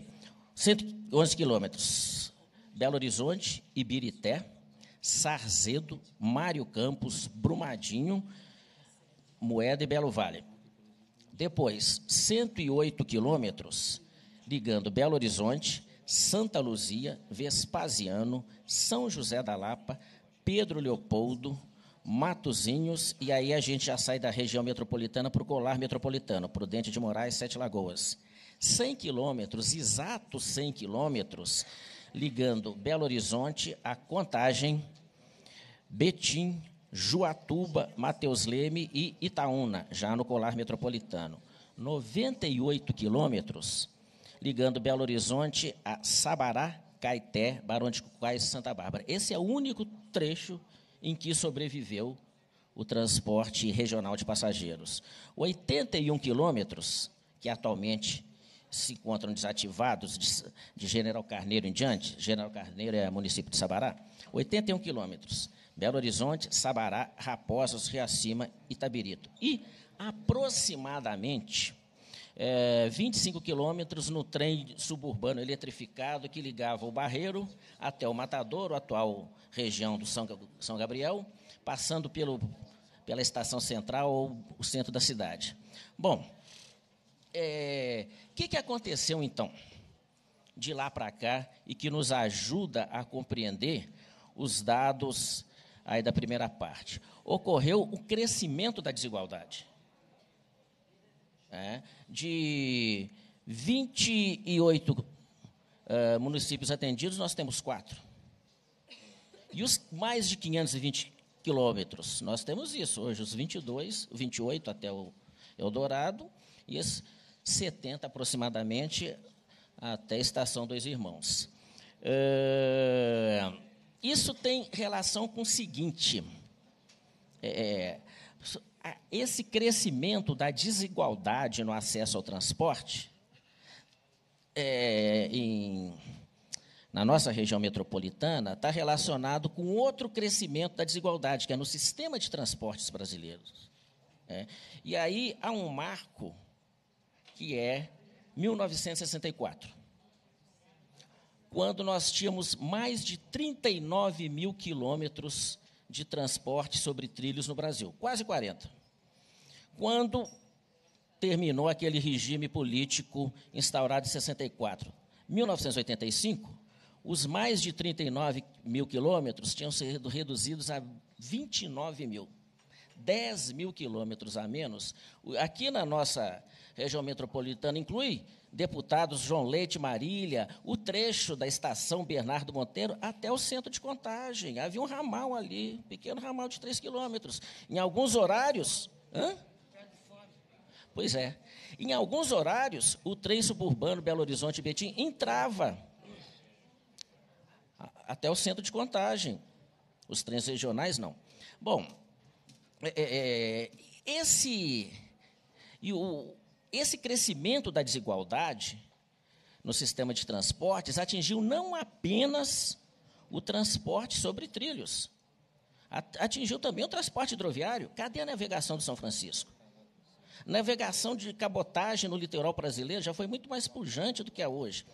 Então, o que nós tivemos foi o seguinte: quando, em 1985, acabou a ditadura política, mas não acabou a ditadura rodoviarista. E isso tem a ver com a, um dos desafios que esta comissão começou a tratar na, na, na reunião passada. É, o, o, não tenho a menor dúvida de que esse é o maior desafio para o transporte, não apenas o transporte sobre trilhos, o transporte aéreo, o transporte hidroviário, né, é que hoje o quase monopólio rodoviarista passou a dominar tudo. Né? E isso nos ajuda a entender aqueles dados da primeira parte que a deputada Marília começou a apresentar. Essa discrepância entre a região metropolitana de Belo Horizonte e outras. Por exemplo, vamos observar Belo Horizonte e Recife. É, Recife, 71 quilômetros, mais que o dobro da região metropolitana de Belo Horizonte, operada pela mesmíssima Companhia Brasileira de Trens Urbanos, CBTU. Então, o que a gente tem é o seguinte: esse, essa poderosa força rodoviarista, ela opera, mas não em linha reta. Ela sofre alguns percalços a diferentes políticas. Dois exemplos. Uma política de transporte sobre trilhos é, que vem prosseguindo. A, a, a Ferrovia Norte-Sul é uma ferrovia absolutamente interessante para o Brasil, né, para a interiorização do Brasil. Evidentemente, ela tem que ser pensada de maneira mais abrangente do que foi pensada até agora, né, para cargas e passageiros. Lembrando aqui também algo que foi tratado na última reunião. Trata-se de concessões públicas, é patrimônio público. Então, obviamente, o público tem direito de usufruir. É. Não apenas as empresas, nada contra a carga, é obviamente necessário, então, mas o público também tem direito de usufruir. Outro, outra mudança é, com relação a, essa, a, essas políticas rodoviaristas, é, e aí Minas Gerais é uma exceção, uma lamentável exceção. É, nas regiões metropolitanas, houve, é, desde o início do, do, do século XXI, uma política de modernização dos trens urbanos, metropolitanos, metrô, tudo isso. Por exemplo, a região metropolitana do Recife, que hoje tem 71 quilômetros, ela tinha 18. Era um, um, um, trem suburbano com pouquíssimos horários diários, ligando a estação central do Recife, bela estação por sinal, a Jaboatão. E hoje tem 71. O que, é que houve? Ora, as forças políticas, econômicas e sociais pernambucanos pressionaram e utilizaram bem os recursos. É, outro exemplo, Porto Alegre, 44 quilômetros, é, abrangendo seis municípios da região metropolitana. A rede é, metropolitana de Porto Alegre era muito menor do que isso. Para que se tenha ideia, no, no, nos últimos tempos, tinha apenas um par de trens suburbanos diário. Como aqui o nosso trem, Belo Horizonte, Raposo e acima, nos últimos tempos, apenas um par. Hoje nós temos lá metrô em 44 quilômetros e ainda se encontra em expansão. Isso é bom ficar claro. Como também ainda se encontram em expansão as, eh, o, o metrô e os trens leves, os trens leves na região metropolitana de Fortaleza e na, no Distrito Federal. É, então, é, o que, que acontece? Aqui na nossa região metropolitana, enquanto forças políticas, econômicas e sociais de Pernambuco, uh, Rio Grande do Sul, Ceará, Distrito Federal e outros, o caso da Bahia é muito interessante. Né? É, o metrô de Salvador já chegou ao aeroporto. Eu não coloquei aqui porque está em obras. Nesse momento, encontram-se em obras de expansão os, o, a, as redes de, de Salvador e de Fortaleza. Neste momento, as obras estão lá, continuam. É, e aí a gente chega à, à, problemática da gestão. É uma pena que a deputada Marília tenha é, precisado sair, é, mas eu aí antecipo algo que sei que, quer ser que será discutido pelo secretário Murilo Valadares, conhecido desde os, desde os tempos de 1975, 76, quando, juntamente com Túlio, eu trabalhava no curso de mestre de obras da Escola de Engenharia, que funciona até hoje, como CIPMOI, Preparação de Mão de Obra Industrial. Mas a questão é a seguinte, o problema fundamental aí é a relação entre público e privado, por um lado, e a eficácia na gestão. Exemplos, é, é, caso brasileiro, casos internacionais. É, Metrô de Paris e metrô de Nova York são absolutamente públicos, estatais. Não há um centavo. Eu estou falando de Paris e de Nova York. A pátria da propriedade privada, da grande propriedade privada, inclusive Estados Unidos. Assim como Paris, França. O que é que está por trás disso? Qual a concepção que torna estatal o metrô de Nova York, como todos os que eu conheço, são poucos, nos Estados Unidos? É o que está implícito aí é a ideia de que o objetivo desse tipo de transporte é, não é lucro, é melhorar a qualidade de vida das pessoas e, e, e a economia. Deputado João Leite, é, demais autoridades. O que, que acontece hoje na nossa região metropolitana, quando, na área de construção civil, por exemplo, e não só nela, todo esse pessoal que precisa trabalhar às sete horas da manhã, pedreiros, faxineiros, porteiros, etc. Todo esse pessoal tem que se levantar às vezes quatro horas da madrugada, enfrentar duas, duas e meia, três horas daquele busão hiperlotado. Obviamente já chega exausto ao trabalho, obviamente a produtividade cai. E aí, para concluir, eu vou deixar o tema do debate, é, a problemática da gestão. Né? Nós temos, então, nessas regiões metropolitanas, metrô inteiramente estatal federal. Nós temos é, estadualização no Brasil, tem significado privatização. É, o sistema de, de, metrôs e trens metropolitanos do Rio de Janeiro foi estadualizado, foi privatizado. Bahia, é, que é o mais recente, está tá em obras, também privatizado. É, é, muito interessante ver como é que isso vai funcionar. São Paulo alterna. São Paulo tem um sistema híbrido.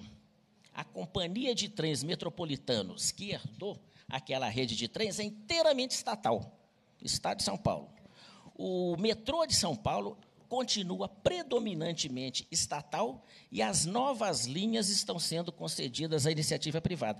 Então, o, e aí a gente entra num outro aspecto. Então, a relação entre o público e o privado, por um lado, e, por outro lado, a fiscalização, a gestão. Né? A gente sabe o que aconteceu com a fiscalização das concessões ferroviárias. Né? Quantos são os as centenas de quilômetros ativados anticontratualmente aqui em Minas Gerais?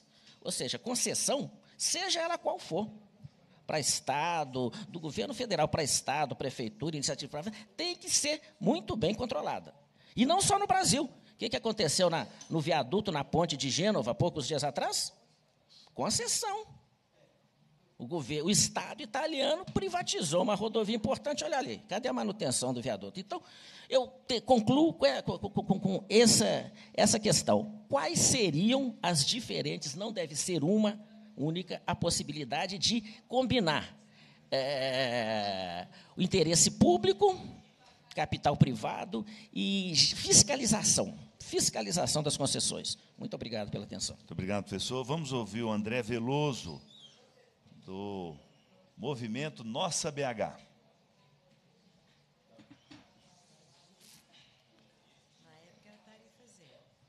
Era tarifa zero? Mudou?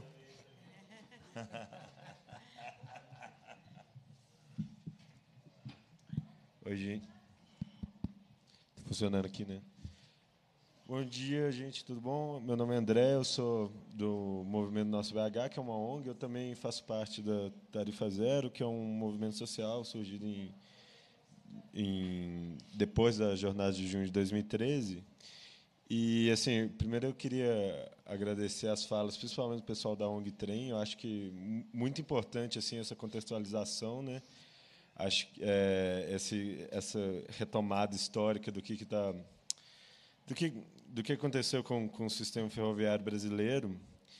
E eu, eu, queria só colocar alguns pontos assim, né? A primeira questão é que apesar do, do preço congelado da tarifa ter sido um dos grandes, uma das grandes razões do desmonte do sistema ferroviário, você tem que pensar também tanto a, a proposta rodoviarista dos, dos governos, quanto o fato de que era esse sistema que segurava a onda do processo de metropolização das grandes cidades brasileiras. Né?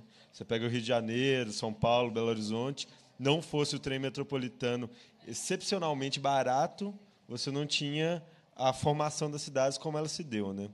Acho que isso é uma coisa importante para a gente pensar. É, eu, eu, queria pontuar aqui, é, a gente distribuiu um material aí para quem chegou antes, depois quem não tiver pode pegar com a gente aqui. Mas a gente tem feito um trabalho a partir do, da, do movimento Nosso BH para pensar a, principalmente a governança metropolitana dos transportes. Né? A gente tem discutido e atuado nisso há algum tempo e tem sido muito difícil, porque a gente tem a agência metropolitana que é responsável por, por uma parte da questão metropolitana, mas não é responsável pelos transportes. Né? Você tem o CETOP, a CETOP e o, a Superintendência de Transporte Metropolitana é, dando conta dessa outra questão. Além disso, você tem a Metrominas, né?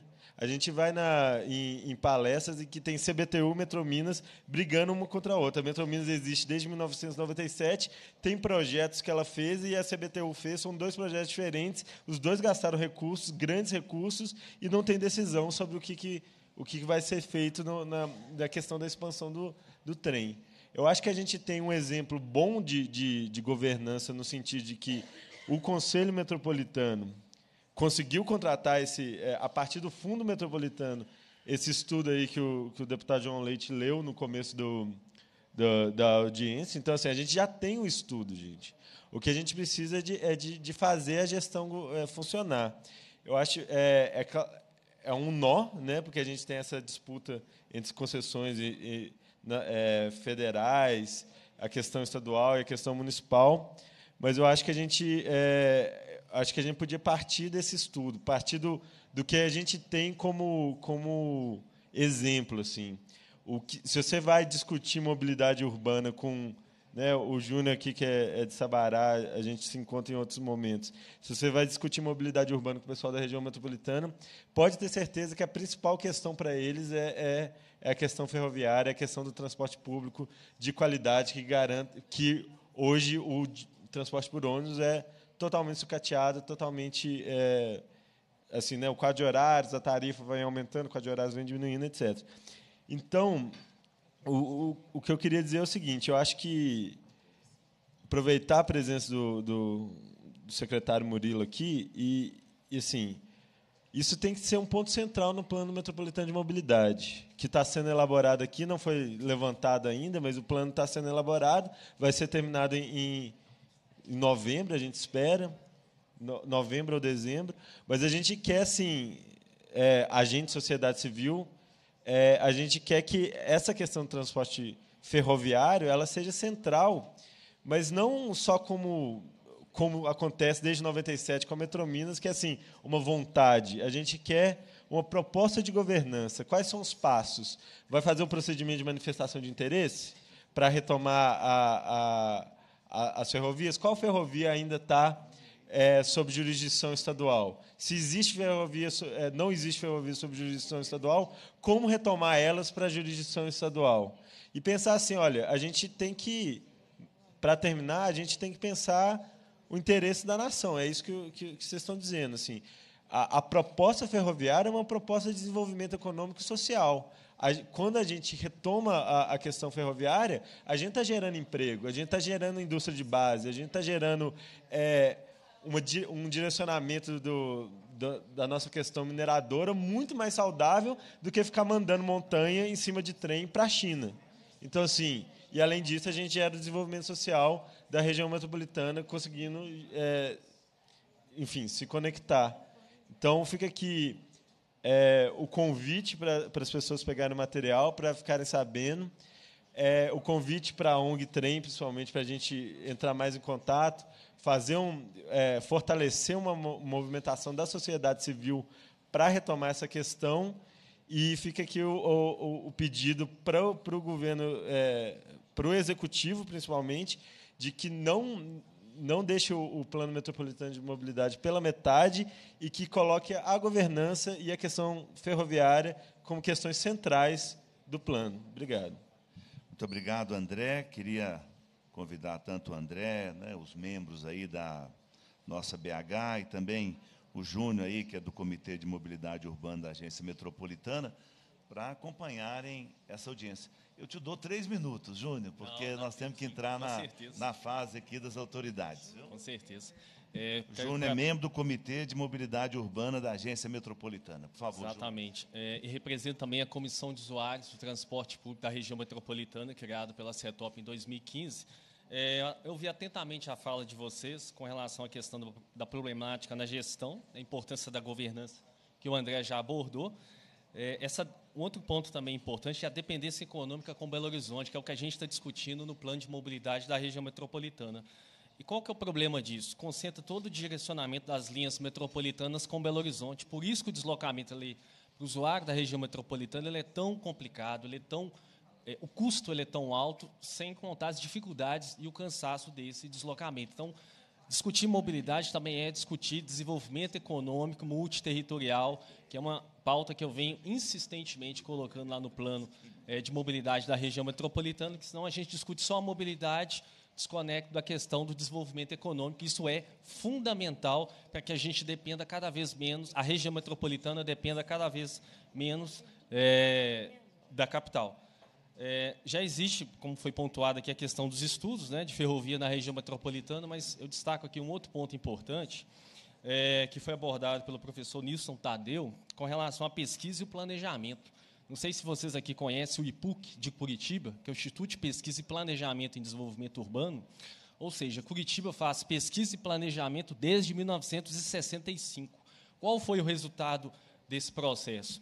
Em 2014, houve a liberação de recursos é, da área da mobilidade do governo federal do período da Copa. O IPUC já estava com 200 projetos na área de mobilidade urbana cadastrados. Qual foi o resultado disso? Eles levaram esse material impresso, meus amigos, para vocês terem ideia foram um material impresso em papel, foram 5 quilos de projeto. Resultado, grande parte dos projetos foram aprovados. Na época, conseguiram a liberação de 5 bilhões de recursos. Então, é, uma das propostas que eu vou estar apresentando, inclusive, no próximo PPAG, agora em novembro, se não me engano, né, vai ter um PPAG, puxando para a nossa realidade, que é a criação do IPMU, Instituto de Pesquisa de Planejamento em Mobilidade Urbana para a região metropolitana. Sem pesquisa e planejamento, dificilmente a gente vai conseguir avançar. A gente vai estar discutindo a gestão, os problemas, os projetos, mas pesquisa, planejamento é um item fundamental para que a gente possa avançar na mobilidade urbana, juntamente das reuniões técnicas, que aí um ponto também importante é a criação do Observatório de Mobilidade Urbana da região metropolitana, que é um trabalho que a Prefeitura de Belo Horizonte já faz. Então, pesquisa, planejamento, reuniões técnicas e reuniões abertas, isso tem que ser continuadamente sendo feito, não apenas em determinados momentos, senão a gente começa a avançar e a gente para na pesquisa, no planejamento, nas reuniões técnicas e a gente não, não, não avança. Muito obrigado. Muito obrigado, Júnior. Tem a palavra agora o secretário de Estado de Transporte e Obras Públicas, e diretor-presidente de Planejamento e Monitoramento da Metrominas, Murilo de Campos Valadares, que eu chamo de bater escanteio e cabecear, né? Oh, boa tarde a todos. Bom dia, né? O microfone fica fixo.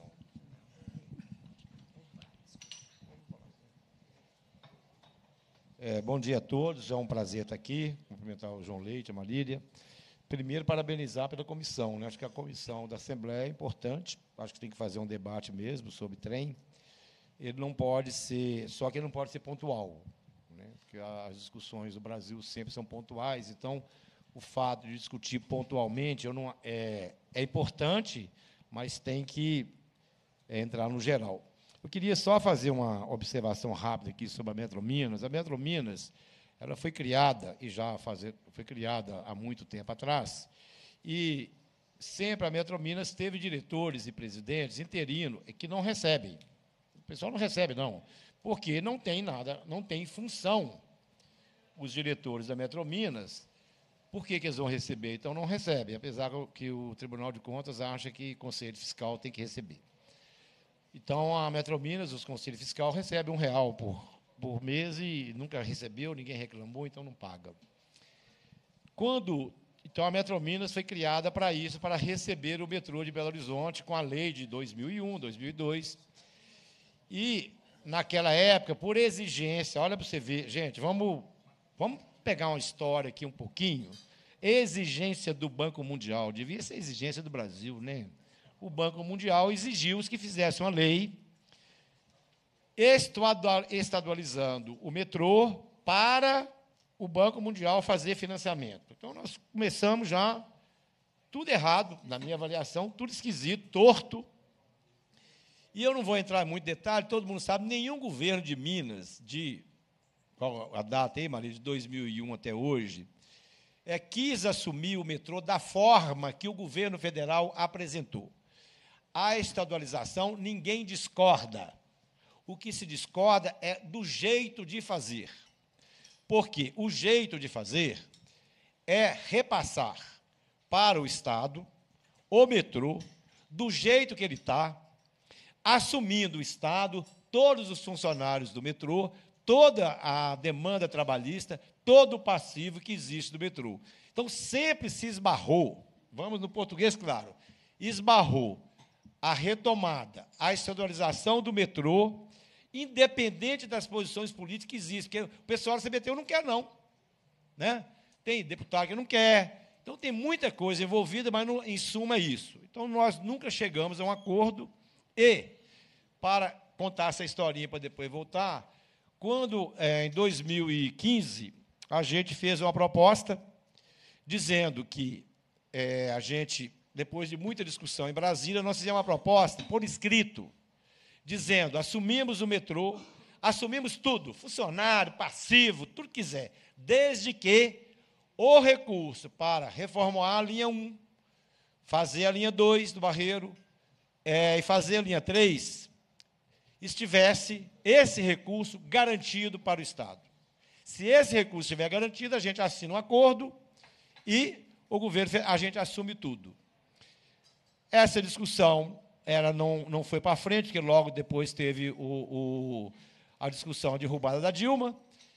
E depois, em 2000, quando o, o governo Temer assumiu, teve aqui o generoso secretário do, do, do, Ministério da Cidade nos oferecendo a linha 1 sozinha.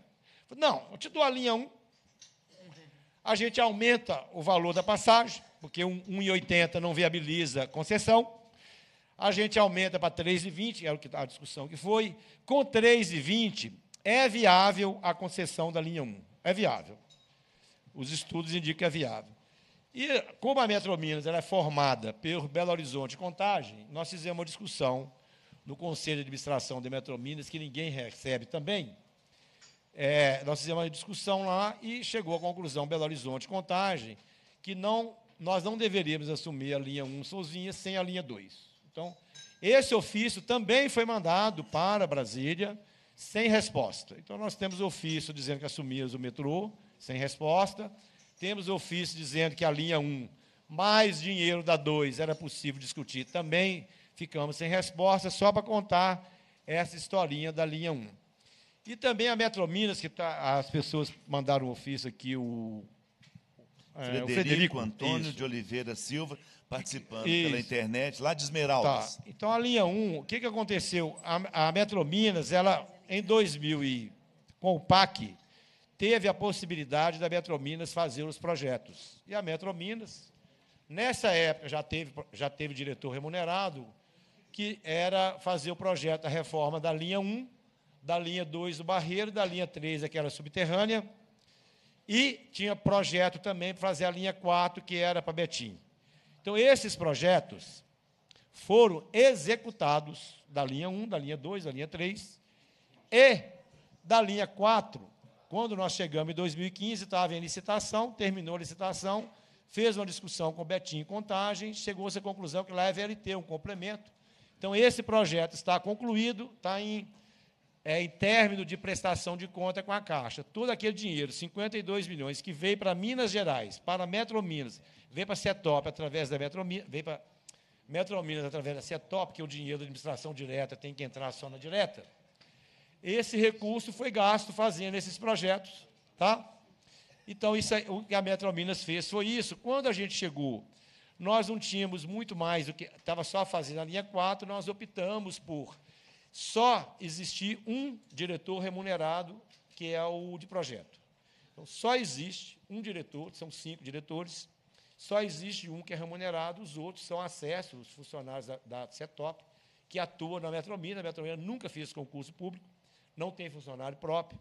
Então, a Metrominas é, é isso aí, eu acho que a gente tem que discutir, assim, só para andando rápido assim, eu tenho uma ideia da Metrominas, é um negócio complicado de falar, mas sem medo de, eu não tenho medo de falar as coisas.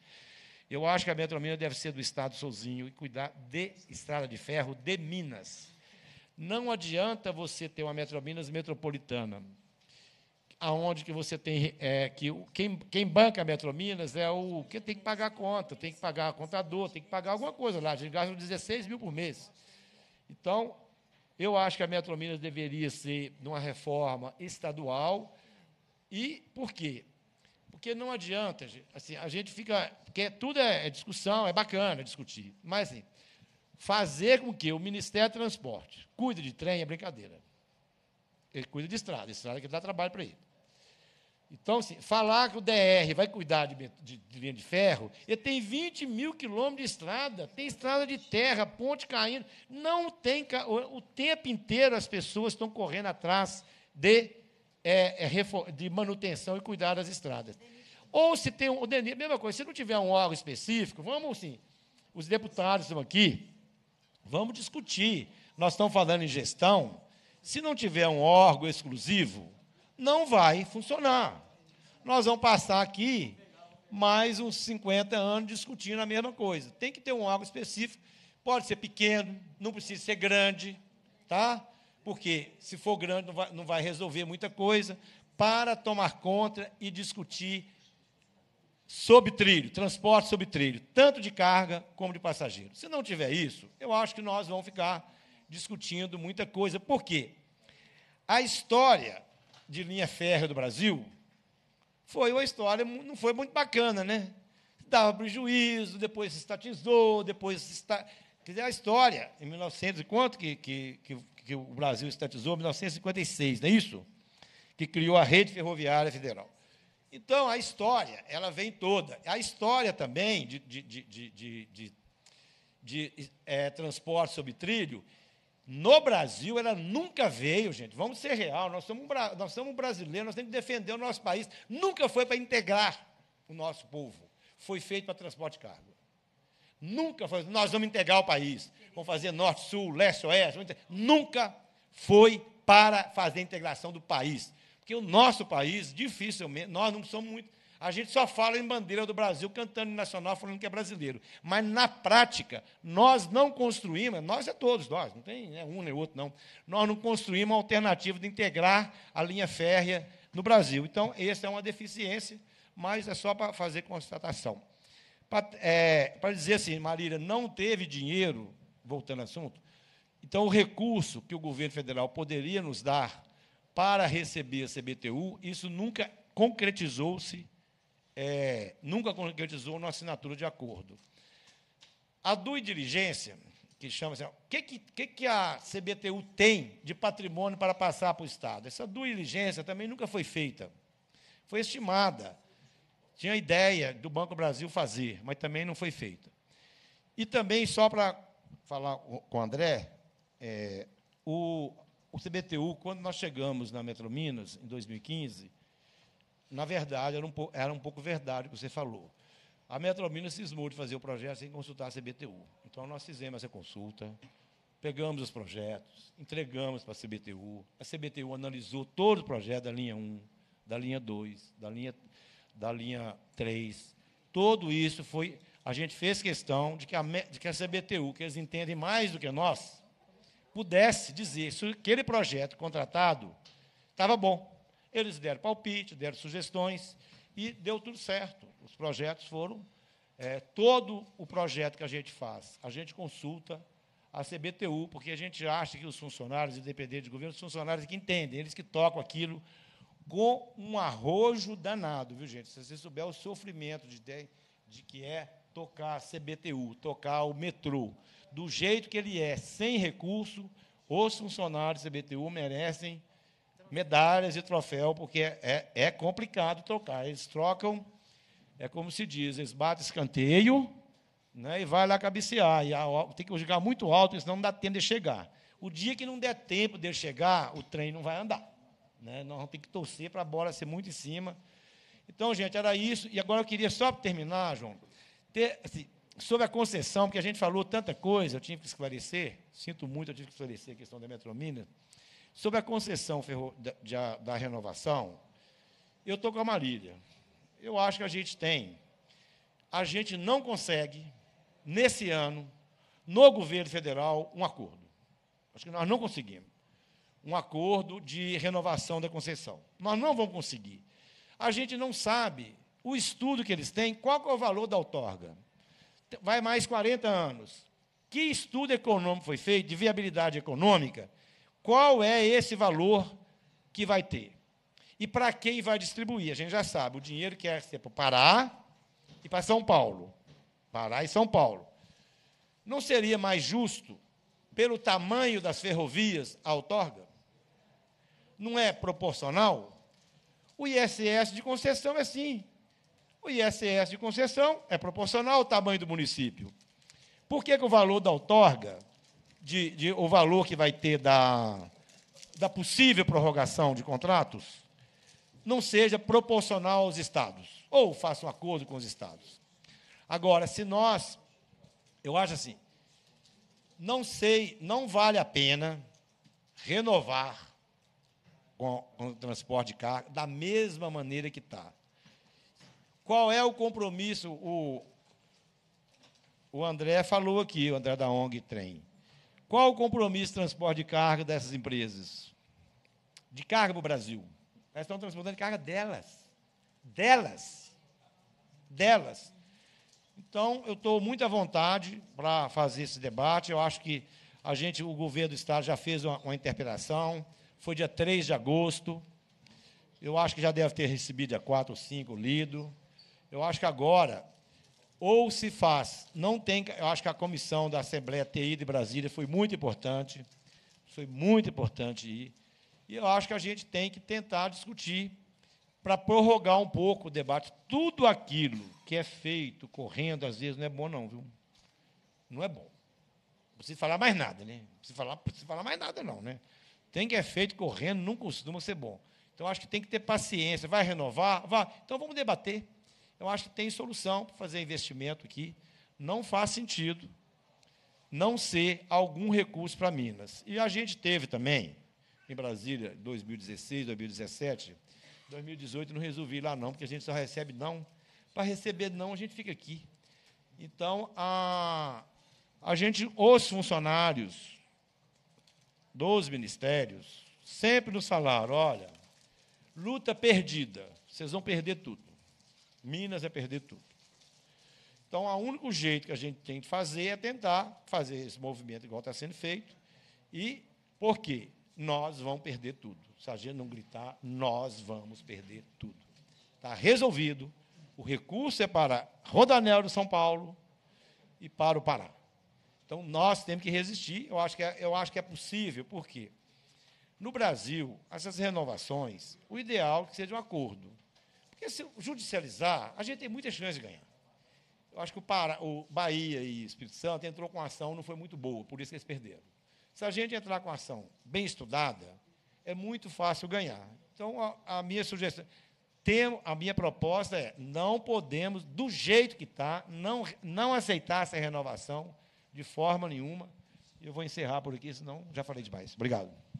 Muito obrigado. Queria registrar com muito prazer no auditório aqui da Comissão Extraordinária Pró Ferrovias Mineiras a presença dos alunos do ensino médio do projeto Parlamento Jovem.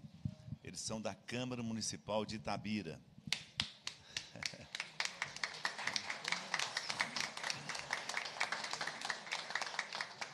Acompanha algo que interessa muito para Itabira. Nós estamos tratando aqui da antecipação das concessões ferroviárias. Aquele trem que passa lá em Itabira e em várias regiões de Minas Gerais. Eu queria é, dizer para o Murilo que ele falou aqui um sonho, eu creio que de todas as entidades não governamentais que se preocupam muito hoje com, e nós conversamos isso com a doutora Vânia, do DENIT, concessão para, para os municípios de trechos de ferrovia.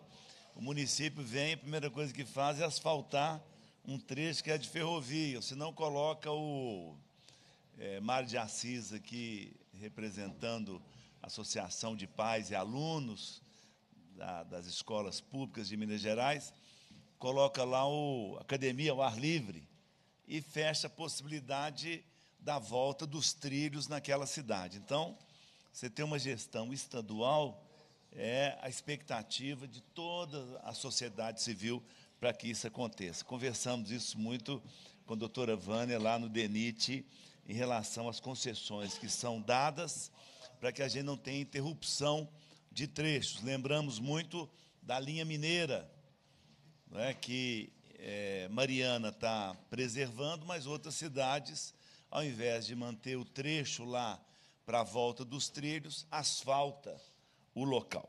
Vamos ouvir agora o procurador da Advocacia Geral do Estado de Minas Gerais, procurador do Estado, o doutor Cássio Roberto Santos Andrade, reconhecendo né, o papel importante que a Advocacia Geral do Estado vem fazendo, defendendo os direitos do Estado de Minas Gerais. O senhor tem a palavra. Senhor presidente, mais uma vez, na condução brilhante dos trabalhos, a deputada Marília Campos, cansável defensora dos interesses de Minas Gerais, na pessoa de quem eu tomo a liberdade de cumprimentar a todos os integrantes da mesa e cumprimento também a todos os ouvintes, trazendo aqui a palavra do eminente advogado-geral do Estado, que pede desculpas por estar fora de Belo Horizonte, na defesa dos interesses do Estado, mas me pediu que trouxesse aqui uma palavra de cumprimentos e profunda admiração ao trabalho desempenhado pela comissão, é, de modo que a Advocacia Geral do Estado se posta mais uma vez à disposição integral para ajudar Minas Gerais nessa batalha que certamente terá um, um final feliz, é, inclusive pelos procedimentos que já vêm sendo adotados pela própria comissão, tal como um vento né, que vem levantar é, o mar, né, é, começou a arrebanhar uma série de segmentos da sociedade civil e o trabalho jurídico, então, da Advocacia Geral vem, então, trazer um respaldo normativo para que a gente tenha, então, os resultados almejados por essa comissão e por todo o povo mineiro.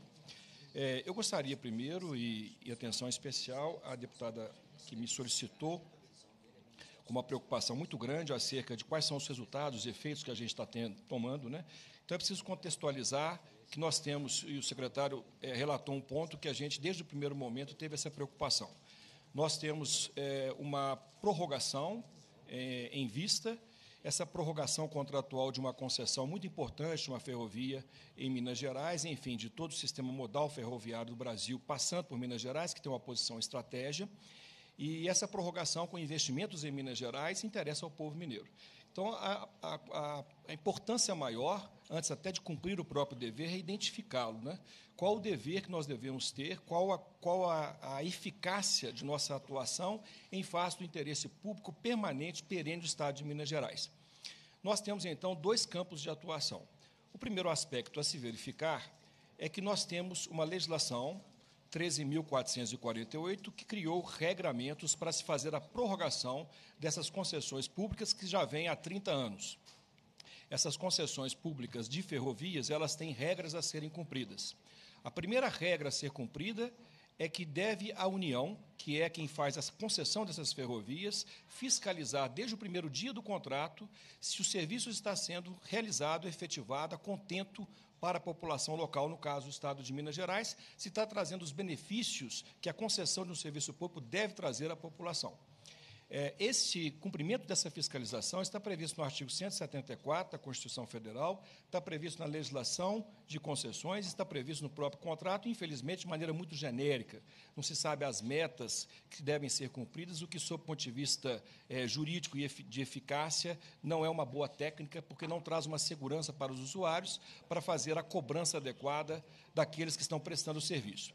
Este é o primeiro ponto de atuação da Advocacia Geral do Estado e, portanto, do Estado de Minas Gerais. Essa fiscalização da União, ela veio a contento. Nós então fizemos a interpelação extrajudicial. Essa interpelação tem a finalidade, no primeiro ponto, de fazer com que o poder concedente, que é a União, ofereça todos os elementos para que o Estado tenha conhecimento se o serviço foi ou não prestado corretamente durante esses 30 anos. Isso tem uma consequência muito importante na prorrogação, porque para que se faça a prorrogação, o primeiro requisito é que esse serviço tenha sido realizado de maneira satisfatória. Muito bem. A ação proposta pelo Espírito Santo, e daí um pouquinho, porque Minas tem essa, essa mistura de prudência e coragem, né? é importante observar os passos dados para verificar se esses passos, de fato, vão levar ao, ao objetivo, ao caminho necessário. Essa ação teve um problema grave, porque, dentro do procedimento da, da legislação, essa prorrogação ela passa por três caminhos iniciais, que são caminhos de construção. Ou seja, é, sob o ponto de vista legal, não há ainda um resultado pré-estabelecido. Há uma construção a ser feita com a participação da sociedade civil. Isso passa pela apresentação inicial da concessionária dos documentos que corroborem que ela, que ela preenche os requisitos legais. Dentre eles, que prestou corretamente o serviço, que fez os investimentos próprios, que apresentou os relatórios anuais, enfim, que ela está credenciada a ter mais é, um período de prorrogação a bem do interesse público, que vem se dizer que, ao se fazer a concessão, está fazendo a concessão de um serviço público, vai beneficiar o interesse público em primeiro lugar. Muito bem, ao se fazer esta, ao, ao, propor a ação, que o juiz então negou o caminhar inicial a liminar para o Espírito Santo, foi exatamente porque entendeu que houve uma precipitação. Né? É como se a gaiola saísse voando atrás do pássaro. É preciso primeiro verificar se esses requisitos foram preenchidos. E esses requisitos, para serem preenchidos, devem ser apresentados pelo poder concedente e, pelo, e pela concessionária, que é a União e, no caso, a Vale. Essa apresentação de documentos deve ser feita e não foi feita. Daí o que Minas fez? Uma vez que, para que se comprove que há ou não o cumprimento das obrigações, é preciso ter acesso a essa documentação, Minas então fez a interpelação, que é um instrumento previsto legalmente para obter então da União e do poder concessionário essas informações que são vitais.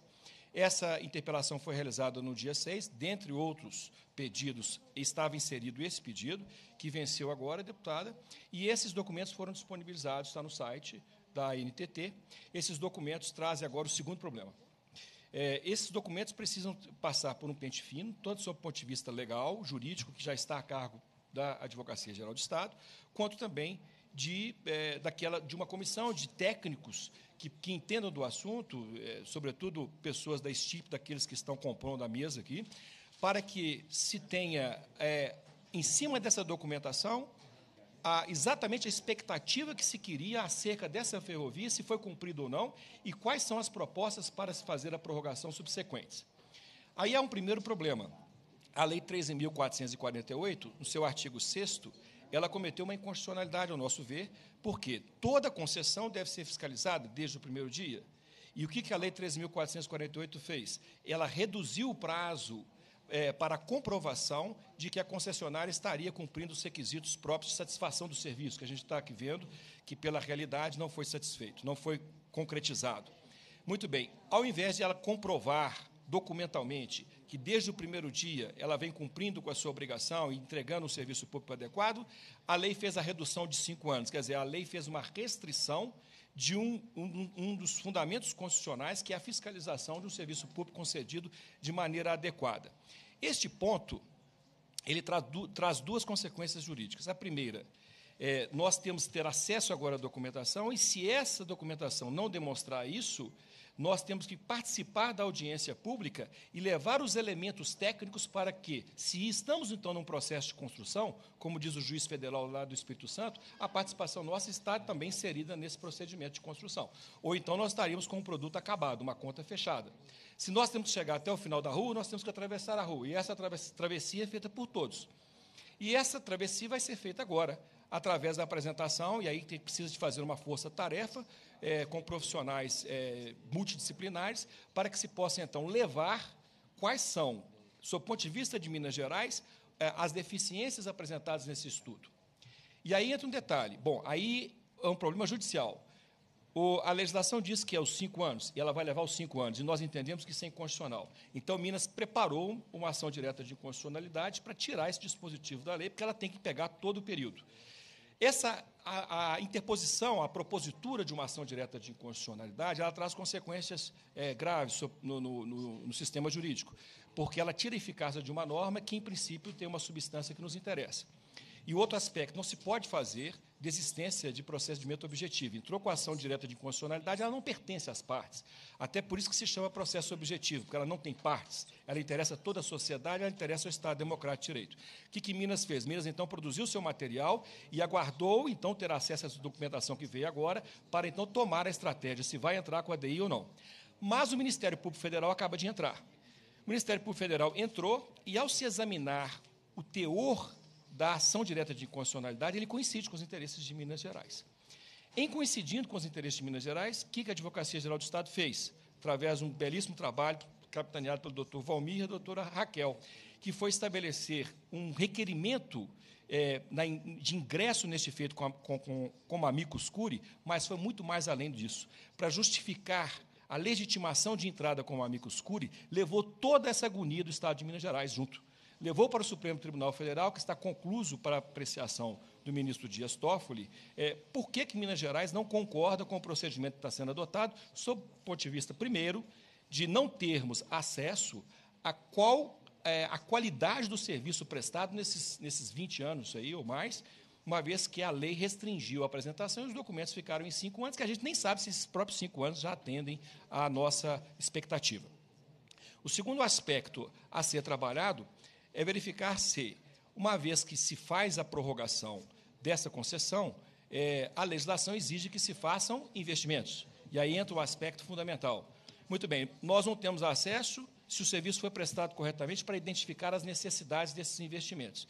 E esses investimentos têm que, por força de lei, têm que entrar prioritariamente dentro da malha que vai ser concedida, da malha que vai ser prorrogada a concessão, uma vez que é como se nós fizéssemos, é até curioso isso, porque se quer fazer, utilizar, dar à Vale, dar à concessionária a possibilidade de fazer a prorrogação, quer dizer, um direito que ela vai adquirir de ficar mais 30 anos explorando, é, 40 anos explorando essa ferrovia, e a contrapartida dela não viria para Minas Gerais. Quer dizer, onde ela ganha o direito, isso vai para fora, que é o artigo 25 da Lei 3.448. É, muito bem. O Espírito Santo questionou isso na ação é, é, da Justiça Federal do Estado capixaba. E o juiz entendeu que é preciso ver primeiro os estudos. Quem sabe esses recursos todos não vão vir, porque a lei determina que se faça também recursos na malha. Então, por isso, não deu a eliminar lá. Muito bem, nós vamos ver agora e vamos questionar essa construção que é feita. É, se não, não, está aberto o sistema, se a lei não exige que se faça o passo a passo até chegar de fato à concretização da prorrogação, então é o momento em que se tem para levar esses elementos para mostrar. Em Minas Gerais precisa ter que fazer. É a carga de investir, é 16, 17 bilhões que estão sendo é, visualizados nesse programa nacional. Qual que é a fatia que virá para cá? Bom, como a lei, no artigo 25, permitiu que se fizesse, além dos investimentos na própria malha em Minas, se fizesse investimentos em outro local, e esse é o grande problema, qual que é o, qual que é o volume que será realizado lá e qual que é o volume que será realizado aqui, Minas Gerais entendeu que isso é inconstitucional. E é inconstitucional por quê? Primeiro, está é, primeiro porque não é proporcional. Né? Onde você está fazendo a prorrogação, onde que está é, existindo a prorrogação dos direitos, não, se, não estão sendo realizados obrigatoriamente, de maneira vinculada, os investimentos, ou seja, os recursos decorrentes, o plus decorrente dessa prorrogação.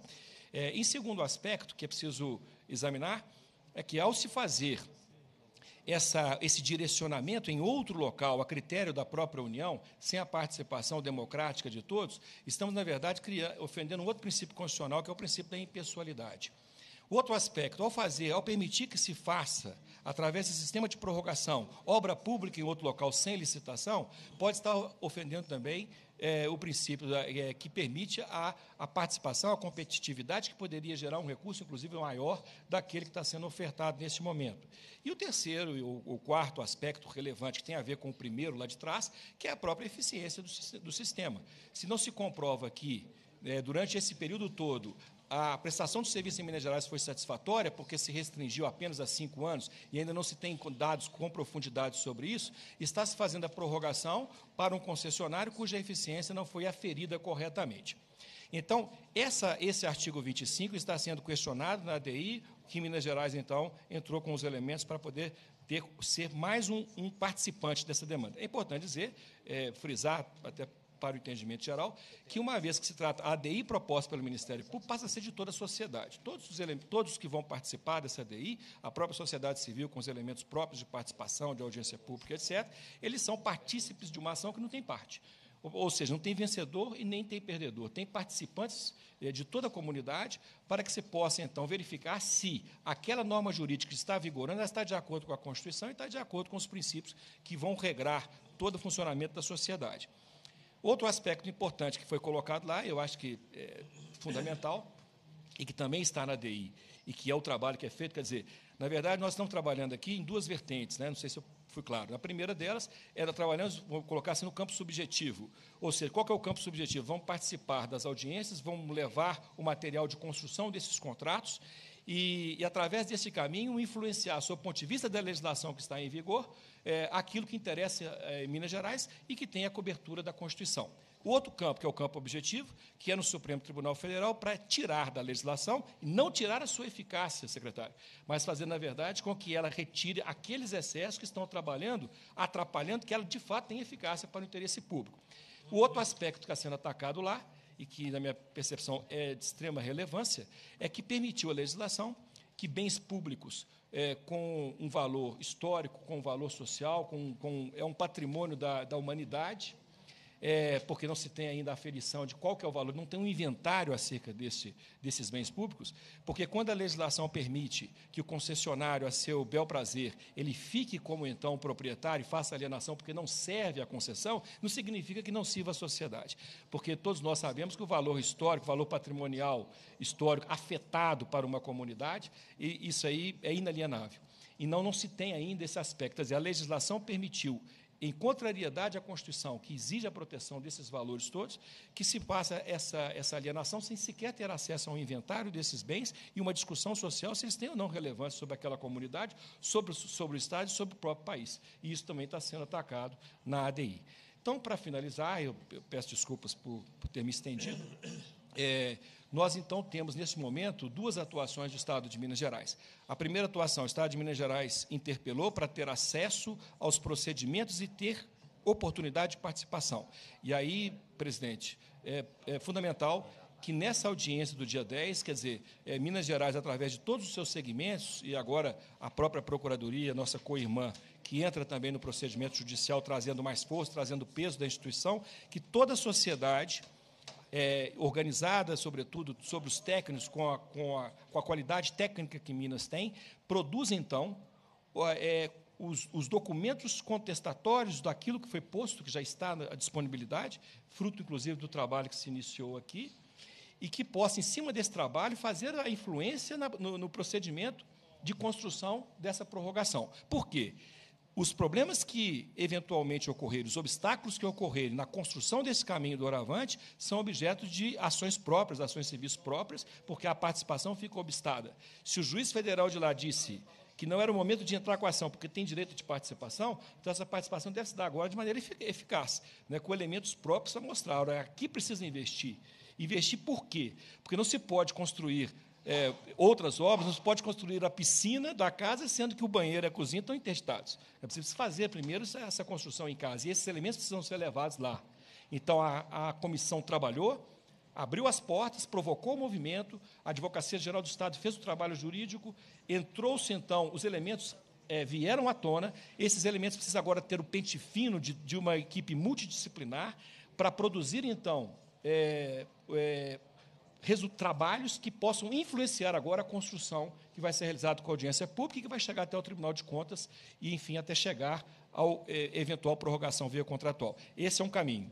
E o outro caminho, que é tirar da legislação aquilo que objetivamente ela já agride a Constituição, independentemente de ser Minas Gerais ou não a beneficiária desses recursos, que são esses, esses elementos que eu passei aqui, que inclui desde a alienação de patrimônio histórico até a possibilidade de prorrogação de contrato sem a fiscalização por todo o seu período. Isso já está na DI, que o Ministério Público entrou e que coincide com o conteúdo do que Minas Gerais entende, e, portanto, também entrou juntamente, que é uma ação sem partes, porque interessa a todo o povo brasileiro.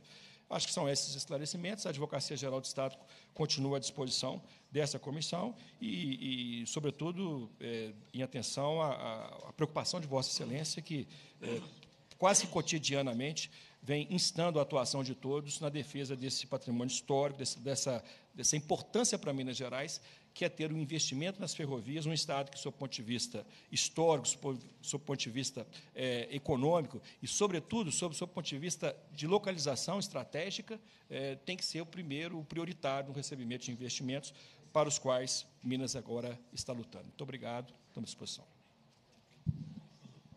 Eu creio que doutor Cássio, em nome da Advocacia Geral do Estado, não deixou pedra sobre pedra, não é mesmo? nossa homenagem ao doutor Valmir e à doutora Raquel, não é, pela atuação. É, muito obrigado, né? Que em nome da Assembleia de Minas Gerais, de todos nós, né, parabéns pelo trabalho, trabalho efetivo. E o doutor Cássio chama atenção para a importância das audiências públicas que acontecerão. Então, está marcado já dia 10, eu já entrei no site aqui, nós entramos, né, da NTT, dia 10 de setembro, de 14 às 18 horas. E, pois é, serão publicados posteriormente pelo comunicado relevante, local e capacidade. Em Patinga, no dia 12 de setembro, de 8h30 às 12 horas. Vitória, no dia 14, e Brasília, dia 18.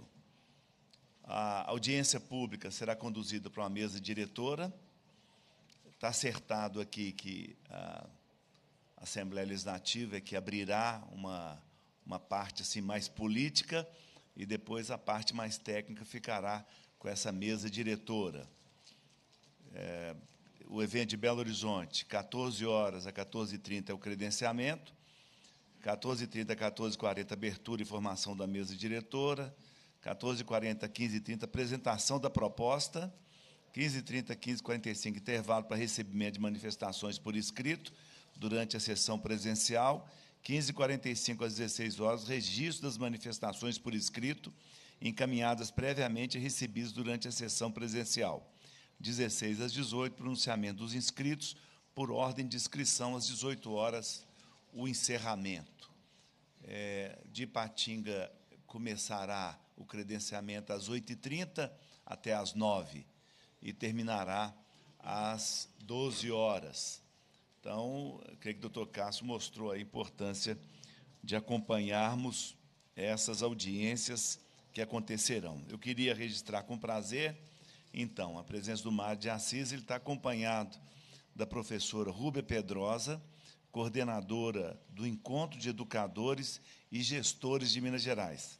Acompanha ainda a professora Rúbia, a professora Leomar Moura, e a professora Alessandra Silva, de Muriaé. Muito obrigado, acompanhando o Mário aí, a reunião dessa comissão. Vamos ouvir agora o Adão Guimarães e Silva, que representa Miguel da Silva Marques, superintendente da Companhia Brasileira de Trens Urbanos, CBTU-BH. Obrigado pela presença, Adão.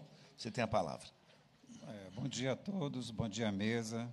É, quem tem que agradecer somos nós, é, deputado, pela, pelo convite que foi feito à, à CBTU de participar desse, desse evento e, logicamente, essa, toda essa consideração dos senhores conosco. Né? É, eu, eu queria, primeiramente, é, é, colocar, assim, eu vou ser breve, é, mas falar em dois momentos que a gente está vivendo com relação ao metrô de Belo Horizonte.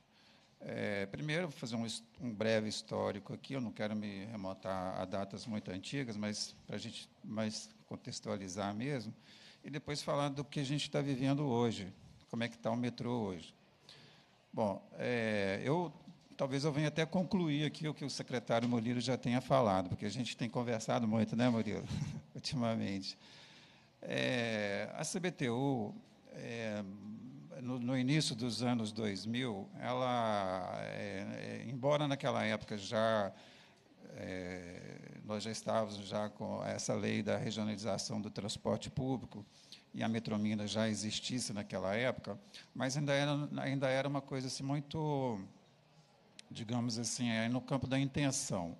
E a CBTU, como ela vinha já trabalhando em alguns projetos, ela investiu muitos recursos naquela época é, no propósito de expandir o metrô de Belo Horizonte. É, nós fizemos, primeiramente, na, na, década, no início da década de 2000, uma pesquisa origem-destino aqui na região metropolitana, toda custeada pela CBTU. É, também é, contratamos e, e conseguimos concluir um, um, plano diretor de transporte sobre trilho na região metropolitana, que foi esses dois esses dois trabalhos foram de fundamental importância para que desse um norte para que a gente trabalhasse a questão da expansão do metrô na região metropolitana. É, resultado desses estudos, nós tivemos naquela época a proposição de sete cenários é, aqui na região metropolitana, onde, onde seria, é, onde se indicaria a, a, implantação de um sistema de transporte de média e alta capacidade, como são os metrôs, os veículos leves sobre trilhos. É, desses cenários que foram apontados naquela época, é, nós, é, através de estudos e de muito entendimento naquela época com é, a BH Trans, as, as prefeituras é, da região metropolitana, a, a, própria superintendência do, da secretaria, nós elegemos naquela época, é, além da linha 1, que já operava, outros dois cenários que eram os mais carregados, em corredores que eram mais demandados de transporte é, público. E, e esses dois cenários eram exatamente a linha 2, que ligava o Barreiro à região dos hospitais, passando sobre a Avenida Amazonas, e o cenário que era da linha da Savassi até a região da Pampulha. Naquela ocasião, logicamente, não se falava em BRT, em outros meios de transporte. Esses corredores eram altamente descarregados é, e justificavam é, a implantação de uma linha de metrô de alta capacidade. É, então, como é, continuidade desse trabalho, por volta de 2004, eu participei muito desses projetos, por isso que eu tenho isso muito claro na minha cabeça. É, a CBTU contratou uma empresa é, para desenvolver, primeiramente, os projetos básicos, é, a macro-localização de estações, os sistemas de controle, é, é, um projeto já num nível bem, bem, bem, adiantado, não chegava a ser ainda um projeto executivo, mas era um projeto de engenharia é, num padrão já bem adiantado. É, e nós começamos a trabalhar nesses projetos dessas duas linhas. Bom, é, nessa ocasião, a gente já tinha mais de um ano de trabalho já desenvolvido, é, veio à tona essa, essa, essa, essa questão da Metrominas e da transferência do, do, do, dos, dos sistemas de metrô atendendo à legislação, que na época é, é, já estava vigente, da gente é, regionalizar esses sistemas. Então, começou nessa época uma grande discussão da transferência.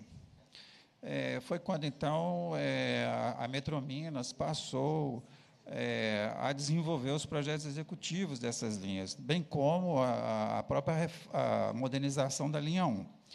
Nessa ocasião, eu, eu, eu até reafirma essa situação que o doutor Murilo falou, e o André, até, até pegando um pouquinho da sua fala, não, é uma, não foi uma questão de briga, foi uma questão de entendimento. Hoje a gente vê que a gente está muito mais, a gente tem muito mais necessidade de, de haver uma definição do que fazer. Né? É, eu vou voltar nesse ponto mais na frente da minha fala, mas é, eu queria só pontuar é, a, a, sua fala. Assim, houve um, um, grande desentendimento na época. Logicamente que se, é, a SBTU, uma corporação que tinha um, um planejamento, e, aqui, e, a, gente via aquilo sendo, de certa forma, tirado da, da da, da, gestão da CBTU, e tudo que causou um, vários desgastes na época, né, nas discussões, o doutor Moreira sabe muito bem disso, mas que foi contornado depois para a gestão dele, da própria CBTU, de, de haver esse entendimento na discussão dos projetos. Bom, é, o que, que acontece, então, o que, que eu vejo hoje, e que, que o pessoal técnico da CBTU vê? é, uma, uma, completa paralisação de qualquer tipo de investimento no metrô de Belo Horizonte, à luz de uma discussão infindável de, de, quem, é, de quem vai fazer isso ou aquilo. É, todas as propostas que são feitas, elas esbarram em alguma situação que é desfavorável, que não vai dar certo, é, o país em crise, não tem dinheiro, e vai por aí afora. E a gente vê isso internamente, que isso virou, de certa forma, uma muleta de, de, de desculpa para não se investir aqui. É, é, lógico que precisa resolver essa questão, existe uma lei que precisa passar o transporte é, é, regional para a gestão regional, sair do, do campo da, da, gestão federal. É, todo mundo sabe disso e, e a gente tem, é preciso resolver isso mas não usar isso como essa desculpa eterna de que ah, vamos resolver primeiro a estadalização ou a privatização, ou seja lá o que for, para depois investir. É, enquanto isso, nós estamos falando de muitos anos, eu citei que 2004, olha para você ver quanto tempo já passa, nós já estamos em 2018. Enquanto isso, o que a gente vê são esses números que foram apresentados aqui de trens metropolitanos de outras regiões do Brasil que recebem regularmente recursos de investimento. Né?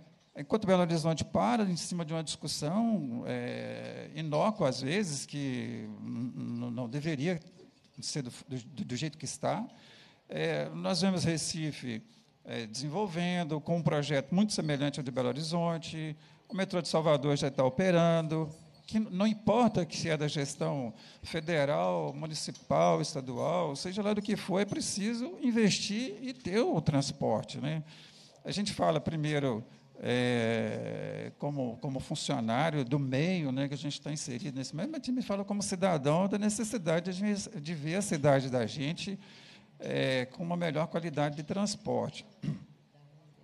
Então, então essa, essa situação ela carece de uma, de uma, de um, talvez de uma vontade política, de uma intervenção maior é, e não ficar no campo da discussão polarizada de dois setores, um que opera, o outro que planeja, e, e não se tem uma, uma solução definitiva para isso. É preciso encaminhar isso.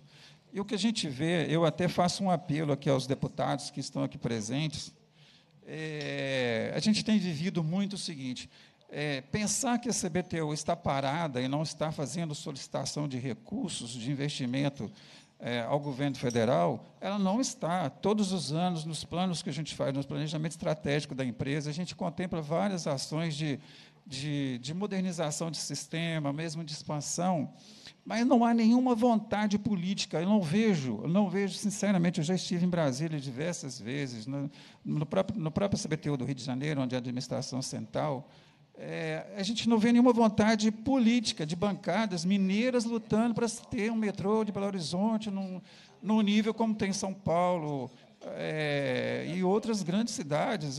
Por que não? Porque todos os políticos que você conversa a respeito disso vêm com essa história da regionalização, da estabilização, e precisa resolver isso primeiro, e vai por aí afora. Então, essa, essa, essa discussão tem, é, é precisa ter um fim, é preciso ter não só do corpo técnico da CBTU, eu tenho outros amigos aqui que estão aqui presentes também da CBTU, sabem muito bem do que eu estou falando. A gente sabe o que é preciso fazer.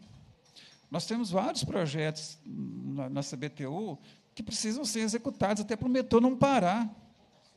A gente precisa, uma linha que está operando, ela precisa de investir em modernização. As coisas ficam velhas, estragam, as estações precisam ser reformadas. é, receber sistemas novos. Hoje a gente já tem uma, uma, uma inteligência tecnológica muito grande nesse setor, no setor metroviário, e a gente está ficando cada vez para trás e para trás e para trás em cima de uma discussão infindável dessa situação que é, é, então, é, eu, eu, faço um apelo seguinte: é preciso a gente ter um terceiro ator que talvez seja a vontade política, os políticos se investirem nisso para a gente resolver essa, essa situação. É, então, esse é, esse, é, esse é o cenário que a gente vê hoje, e é bom a gente participar. Eu, eu, eu fico imensamente é, assim, agradecido da gente participar desses eventos, para a gente poder falar sobre isso. Porque senão a gente fica enclausurado, enquanto, enquanto CBTU, enquanto técnico, numa mesma, numa mesma instituição, sem sair para fora para conversar sobre isso. Então, é preciso chamar a gente para a gente participar. Como o doutor Murilo falou, é, a gente tem um conhecimento técnico muito grande. A gente já, a CBTU já funciona aqui há 30 anos. Nós temos é, outras cidades com técnicos altamente qualificados temos um envolvimento com todos os metrôs do Brasil, com técnicos de, de, é, da mais alta é, conhecimento né, nessa área, é preciso usar a gente para poder fazer isso é, prosseguir. Então, deputado, é um apelo. Um apelo. Muito obrigado, Adão. É, só concluindo, eu pois queria não. falar aqui sobre o Júnior, que ele falou uma coisa aqui que eu achei muito interessante, as discussões que está tendo aí sobre os fóruns, é, sobre mobilidade na cidade. É, Sabe, Júnior, eu, eu, participei um tempo atrás, em alguns momentos, que falava sobre mobilidade, no plano diretor de, de, de, do plano diretor metropolitano. Não sei se você tem conhecimento dele. E naquela ocasião se falava muito no conceito da centralidade. É, então eu vejo o seguinte: às vezes eu procuro é, meio que na nuvem é, que, que, que, identificar que política, quais as políticas públicas que estão sendo feitas hoje para que esse conceito da centralidade ele se afirme, porque é, pensar em mobilidade é, simplesmente para resolver questões pontuais de necessidade, corredores grandes, é preciso pensar na centralidade, para você evitar que as pessoas se façam grandes deslocamentos, né, para poder é, resolver um problema de transporte que fica menos grave quando você é, quando a pessoa naquele lugar onde ela vive, ela tem todos os serviços e tem oportunidade de trabalho, coisas desse tipo assim. Eu não sei se é, os governos, em todas as esferas, estão trabalhando com políticas públicas para isso. Né? Isso também faz parte desse trabalho. É, é, é, isso, deputado. Eu agradeço imensamente a oportunidade de falar e peço é, ao Miguel, que é o superintendente nosso, coincidentemente a agenda dessa reunião é, coincidiu com a reunião que periodicamente os superintendentes das regionais do Brasil fazem no Rio de Janeiro. E ele, inclusive hoje ele está lá, mas pediu para eu transmitir um abraço e um agradecimento aí pela oportunidade de participar. Muito obrigado. Muito obrigado, Adão, e alegria para a gente ver servidores assim tão comprometidos, né? É sempre uma alegria para a gente. A gente vai descobrindo o que ficou no Rio de Janeiro, né? Ficaram as confederações e o CBTU ficou no Rio de Janeiro também, né?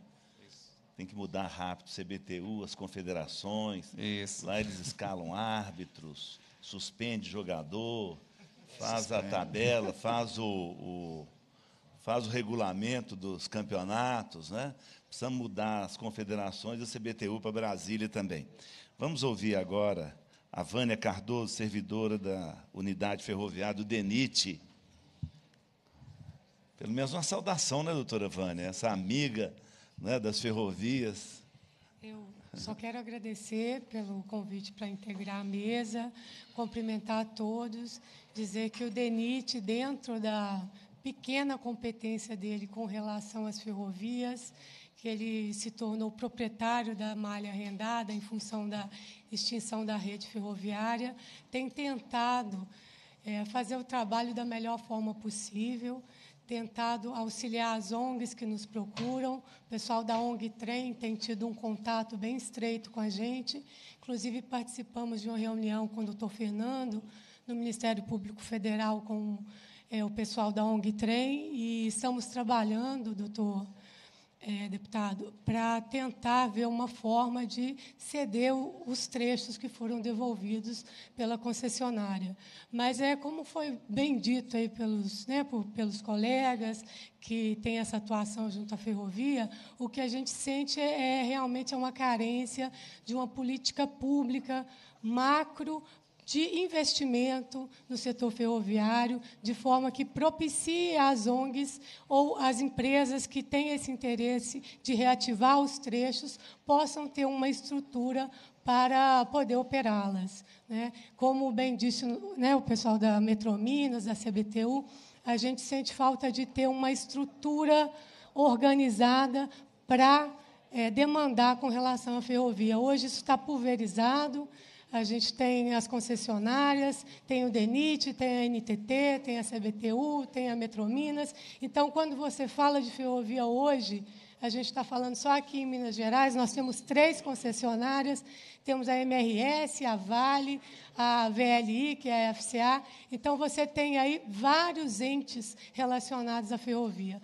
Então, é preciso realmente a gente estruturar um órgão central para tomar conta, para é, estruturar realmente esse debate, porque senão a gente fica, como disse a deputada na última reunião, nesse jogo parecendo que é um, um ping-pong mesmo, um ente empurrando para o outro, mas é que, infelizmente, as competências hoje elas estão muito fracionadas. Isso dificulta, às vezes, o trabalho das entidades, dos órgãos, de conseguir é, dar um direcionamento para as ferrovias. Então, assim, é, em nome do DENIT, eu quero dizer que a gente está muito feliz com essa iniciativa da Assembleia Legislativa.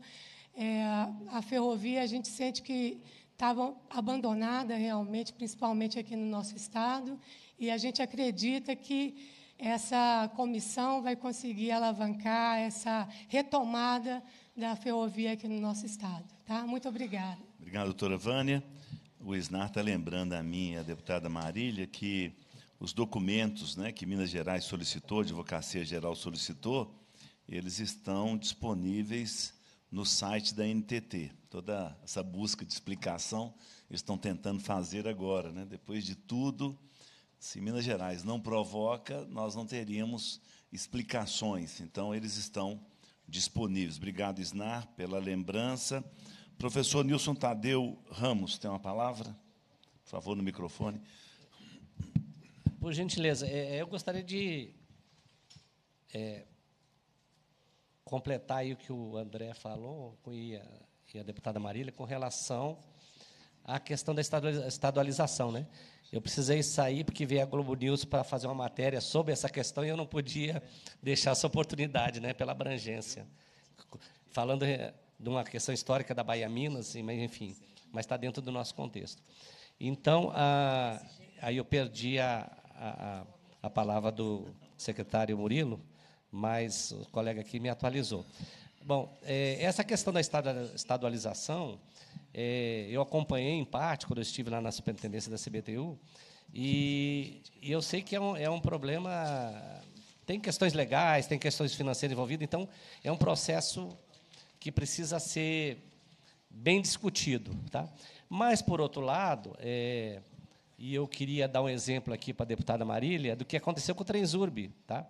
Eu acho, como o Adão falou, a, a, primeira, a primeira questão que a gente podia encaminhar, eu acho que até via a, a Assembleia, é, deputada, era que a, a, a STU-BH saísse saísse da, da, das garras da CBTU, vamos dizer assim, entendeu?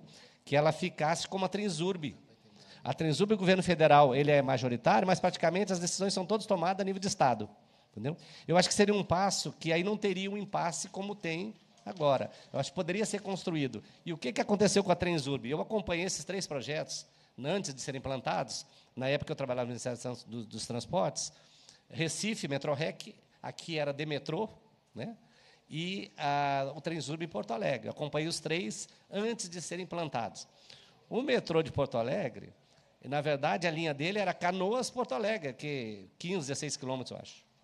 Hoje ele está com 44, ele está até Novo Hamburgo, que se deu depois dessa possibilidade de estadualização. Então, o governo ainda está lá é, ligado ao Ministério das Cidades, né? mas ele tem voz ativa no interesse de resolver as questões. É isso, eu vejo a aflição do Adão, que ele está falando agora, nós estivemos junto lá, eu sei muito bem o que, que é. Aqui, por exemplo, o orçamento na época era 90 milhões, a primeira coisa que era contingenciada era investimento. Entendeu? A linha 1 até hoje não foi completada. É. Ah, mas o metrô aqui participa, sei lá, 2 ou 3% da demanda, da demanda do, do estado, do, da região metropolitana. Mas acontece que na área de influência dele ele é muito importante. E também eu acho que seria um passo para a gente começar a trabalhar as outros outros ramais do estado, né? É, é, e da região metropolitana. Tá?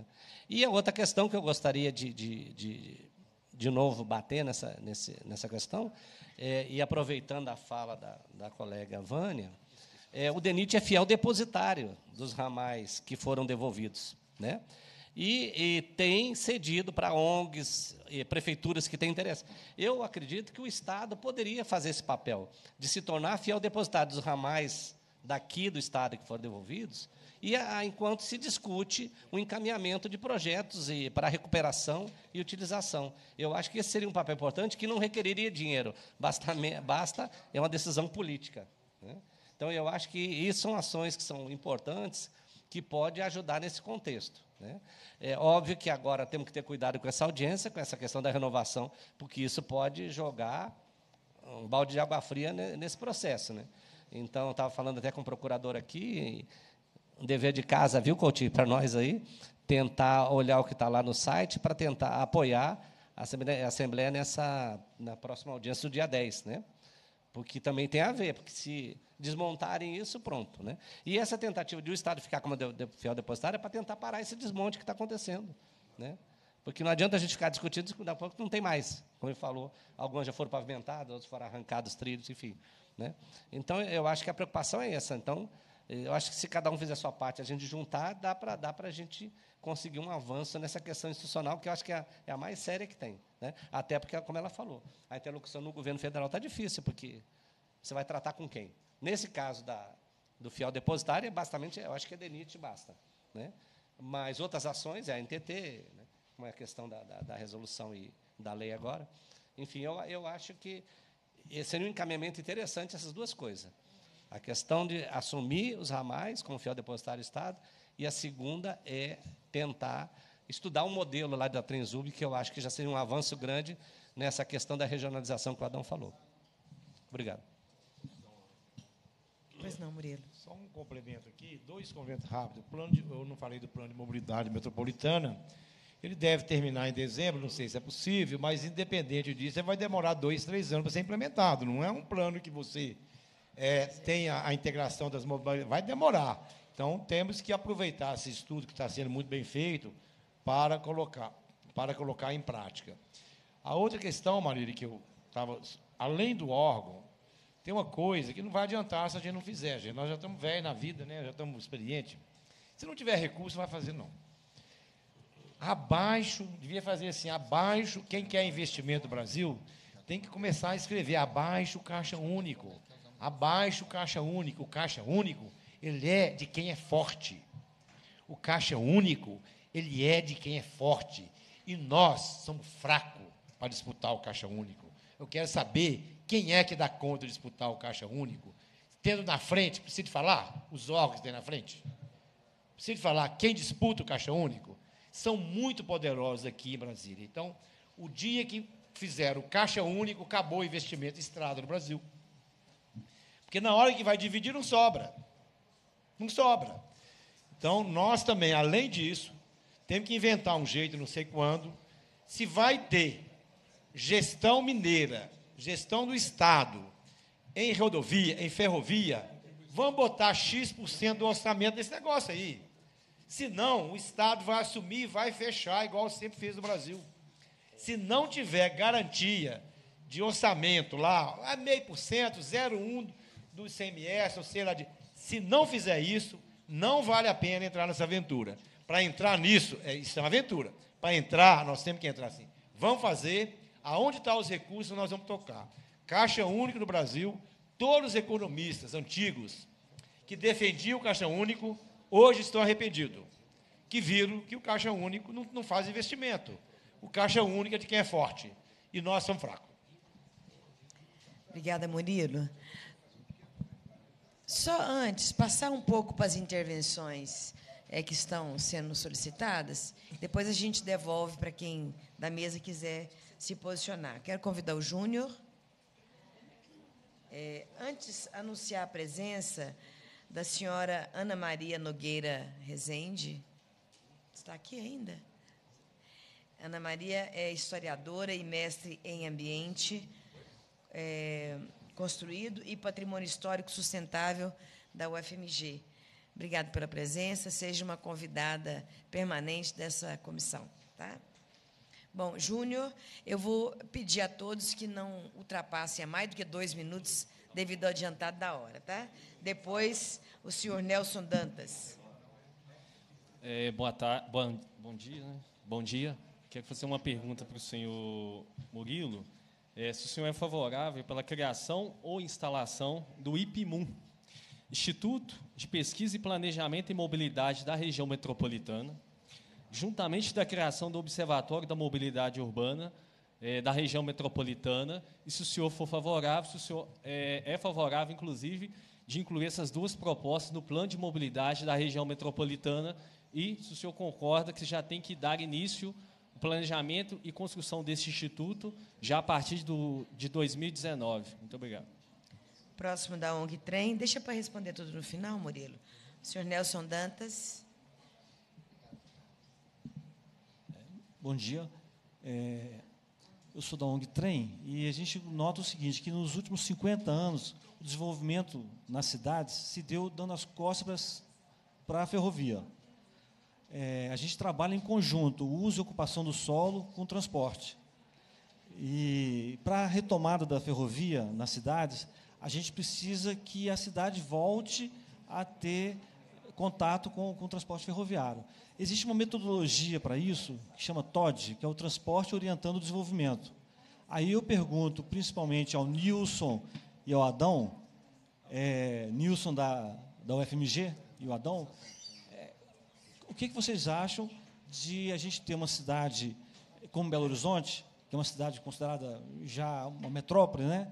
E segundo a UITP, a União Internacional de Transporte Público, as cidades grandes são têm um centro forte. As cidades muito grandes são policêntricas. E a gente deveria ter essas novas centralidades associadas às estações de trem? Se sim, se estão trabalhando em conjunto, CBTU, Agência Metropolitana de Desenvolvimento pelo Estado e a Prefeitura, as prefeituras, né? E, no caso da retomada dos trens de subúrbio, se a gente deveria pensar num plano diretor que é, adensasse o entorno das futuras estações. Muito bem, complexo esse. É, o próximo é da OCIP Apito, senhor Sérgio Mota.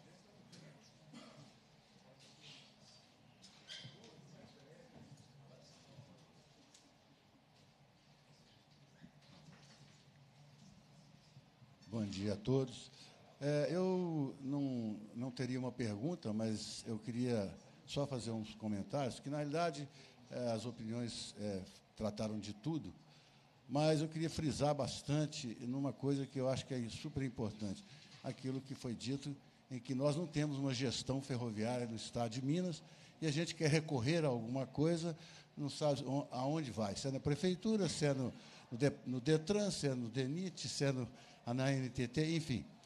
E, e que o nosso problema é, é, de transporte é, coletivo, de, de, de é, é, é, urbano, desde 2013, eu fiz um levantamento e nós tínhamos uma possibilidade muito boa de colocar um trem de Sete Lagoas até o Horto Florestal, pegando ali, o pessoal tomaria ali o metrô, e outro de Itaúna até o Eldorado, onde eles tomariam o metrô também, aproveitando os, os vagões que a Vale do Rio Doce é, desativou pela compra dos novos vagões para, para, para rodar na linha deles. Nós colocaríamos 30 vagões em Sete Lagoas, 30 vagões em, em Itaúna, e com dois trens de 15, nós traríamos em, aproximadamente 180 mil pessoas por mês para vir de, de Itaúna, de Vinópolis, gastando, gastando uma hora e vinte, uma hora e meia de lá para cá. A mesma coisa é, é, de Sete Lagoas para Belo Horizonte, o mesmo tempo.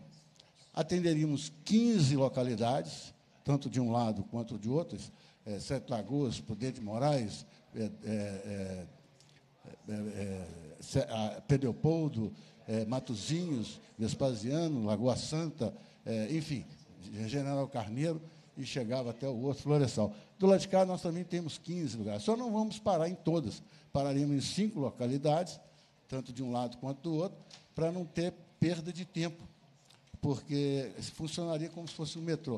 O pessoal das proximidades iria para aquela que teria o embarque. Isso traria, em 2013, quando fiz um, 3 milhões de receita mês. Eu acho que é uma coisa. Agora, é, como pedir, é, a quem pedir para se é, é, é, compartilhar a linha? Você vai nessas, nessas concessionárias, elas não querem ver passageiros de jeito nenhum. Né? Então, é uma coisa que a gente fica é, perdido. A gente corre aqui, corre ali e não, não tem, obtém res, resultado nenhum. No nosso caso, por exemplo, eu tenho um projeto que é um trem específico, Belo Horizonte em Iotim, 51 quilômetros, com um projeto, é um trem de passageiro, utilizando os vagões do Veracruz, totalmente reformados, é, é, de, é, transformados em alto luxo, com duas viagens por dia de manhã cedo para lá, estacionariam dentro do Inhotim, numa estação a ser construída dentro do Inhotim, e voltariam no fim da tarde. É um projeto sensacional, espetacular, que a gente não consegue que a MRS nos libere a linha para poder rodar. São só 51 quilômetros. É, eu já fiz essa inspeção, já fiquei é, em duas estações no meio do caminho, Sarzedo e Souza Nosquez, eles têm, na, na atualidade, nove trens por dia, de seis da manhã às sete e quinze da noite, os dois dias, um numa estação na terça-feira, outro na outra estação na quinta, passaram apenas nove composições. E entre elas, uma hora e quarenta, uma hora e trinta de média. Nosso trem, com uma hora, chegaria em Brumadinho, no, no Iotim, e no fim da tarde voltaria com uma hora e pouco para Belo Horizonte. Não temos condições de. Temos alguém, temos que ter alguém que pressione isso. Nós precisávamos ter um, um, um órgão superior que chegasse à MRS e dissesse, ó, a linha é pública, a linha é federal, a linha é do povo. Então, eh, vocês têm no contrato essa cláusula que permite que qualquer é, é, é, empresa pública, privada, consiga esse direito de, de rodar em, do, em dois horários. E a gente, uma ONG, uma CIP, pressionar uma empresa dessa é impossível. Então, nós teríamos que ter uma espécie, uma rede ferroviária federal, é dona da linha, a linha do povo. Né? Então, acho que nós precisamos de ter realmente um órgão em Minas Gerais que tome conta das nossas linhas. Porque o que está acontecendo é, é, uma barbárie, é uma barbárie. Eu estou vendo a fotografia do uh, o quadro do João Leite aqui, quando vi, lembrei, porque sou filho ferroviário, meu pai era engenheiro da rede, chegou à diretoria, e foi engenheiro residente em Sabará. É uma pena que essa ponte não exista mais. A Vale desmanchou, para não haver nenhuma possibilidade de passar de Belo Horizonte para Sabará. Então, nós não temos mais ligação de Belo Horizonte em Sabará. Eles tiraram a ponte tem uns três ou quatro anos, mais ou menos. Conclui. Nós estivemos lá vendo isso. Então, quer dizer, tem acontecido barbáries dentro da nossa ferrovia e em prejuízo do próprio país. E ferrovia é uma área é, do povo, é do, é, é, é, é não é da concessionária. A concessionária alugou e está usando. E não tem nenhuma cobrança, como já foi dito aqui, ninguém cobra nada deles, eles fazem o que, que bem querem, bem entendem, e a gente fica aí tentando fazer alguns projetos benéficos para o povo, para Minas, para o Brasil, é um trem de turistas desse para Inhotim, tem 35 mil visitantes mês em Inhotim. Conclua, por favor. É. E, e isso é, o trem, dois trens por dia, não comporta o passageiro todo, o, a, a, os visitantes de Inhotim. Tá bom? Obrigado. Muito obrigada, senhor Sérgio. Aproveitando que, numa dessas audiências que nós tivemos, é, se eu não estou enganada, foi dito que é, as concessionárias, no caso essa, responsável por esse trecho, é, transporte de cargas e transporte de passageiros deveria ser licitado pelo Estado, uma vez que é entre municípios. Mas é uma oportunidade para o Murilo depois é, falar sobre isso. Né? É... é, o próximo é o senhor Zenilton, patrocínio da MP Engenharia. Dois minutos, viu, seu Zenilton?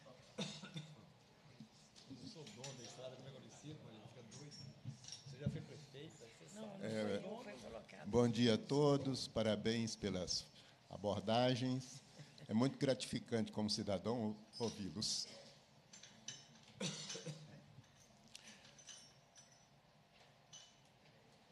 São é, dois posicionamentos que se resumem num só.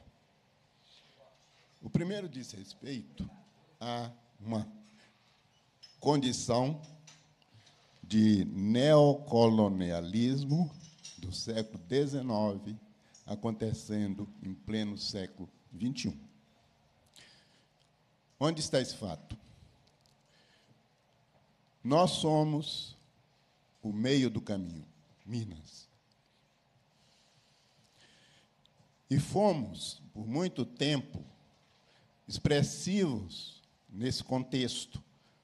Agora, com no, o novo desenho logístico, nós seremos apenas fornecedores de insumo, minério, e vamos receber de volta produtos com valor agregado para nosso mercado consumidor.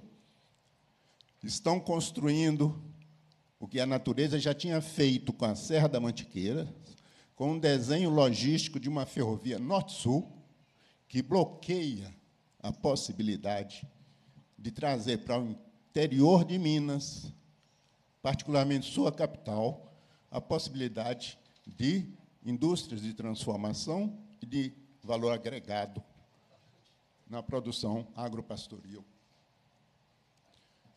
ou da fronteira agrícola de oeste. E vamos nós, cada vez mais, ficarmos ilhados, porque tudo que será feito para além da barreira da Norte-Sul, ferrovia, será drenada para os portos do Sul e para os mercados transformadores e agregadores de São Paulo. Mesmo para voltar como produto a ser consumido por nós ou exportado para o exterior, gerando divisas para aquele Estado. Esse é o neocolonialismo local. Em, no século XIX, as nações ricas faziam ferrovias de integração. E nas colônias, eles faziam ferrovias de exploração. É o que está fazendo. E nós estamos deixando. E estamos brigando, obviamente, correto, para transporte de passageiro, achando que esse é o X da questão. Não é.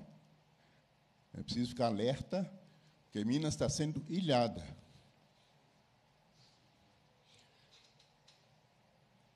Segundo ponto.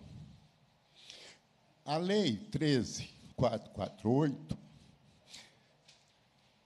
desculpa, tem bastante coisa subreptícia, como foi já denunciado aqui o artigo 25, 26, o 34, mas tem pior, o 36, que desnacionaliza o patrimônio ferroviário.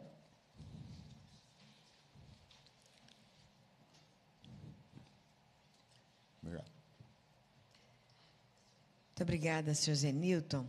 Antes de passar para os nossos convidados, só convidados nós temos aqui para as considerações finais, lembrando que é importante a gente agilizar para a gente concluir a nossa audiência, eu queria falar três questões. A primeira, um alerta ao Estado, tanto ao Murilo como também ao doutor Cássio, é, sobre uma ação do Ministério Público Federal, é, que foi, inclusive, é, é anunciada numa das nossas audiências, é, onde o próprio Ministério Público Federal ele solicita recursos em caráter indenizatório para se investir em rodovia, no anel rodoviário.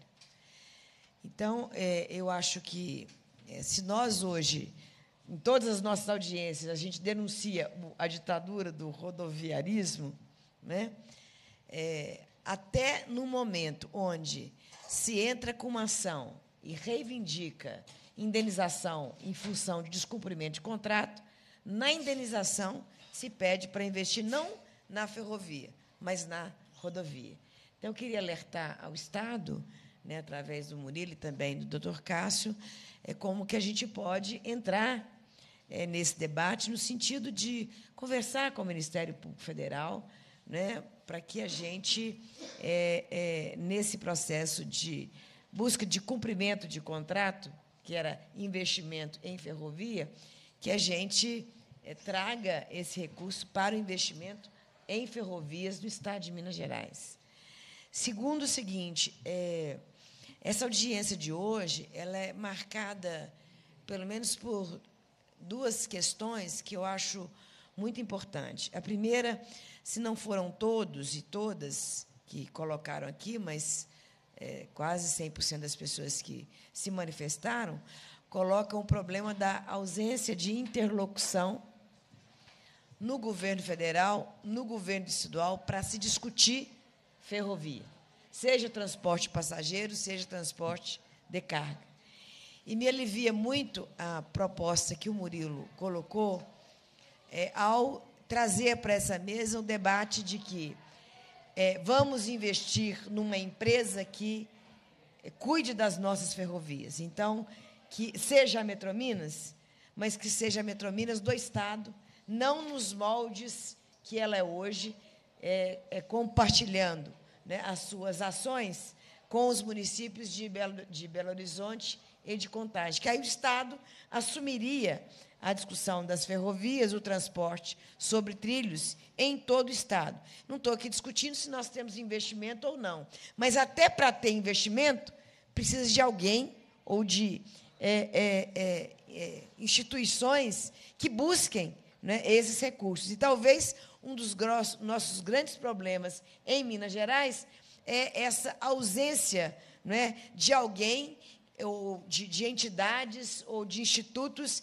que comecem de fato a, a fazer uma escolha política para garantir o investimento em ferrovias em Minas Gerais. Então, me alivia muito essa posição sua, Murino, que é do governo do Estado, da gente é, é, já começar a fazer esse debate no sentido de que alguém ou uma secretaria ou até mesmo a Metrominas, no formato que é, passe a cuidar é, das nossas ferrovias em Minas Gerais.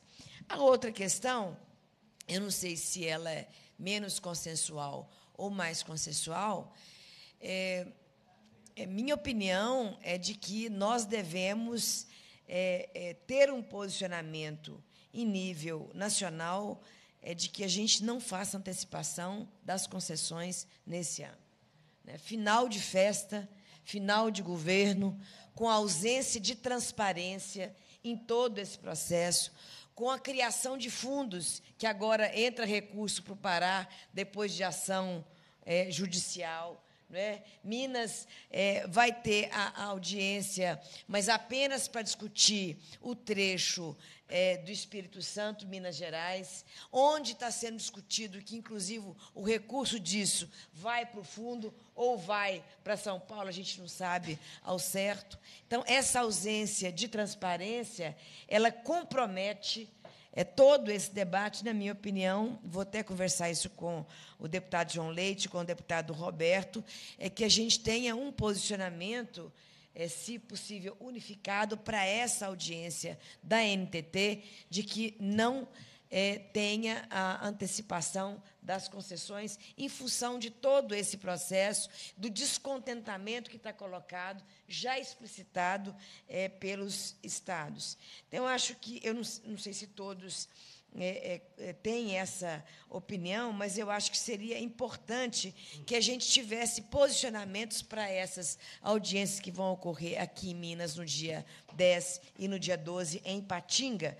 É, é claro que a gente vai manifestar posicionamento defendendo o interesse de Minas, mas eu acho que a gente deve se nortear por um posicionamento geral contrário à antecipação das concessões.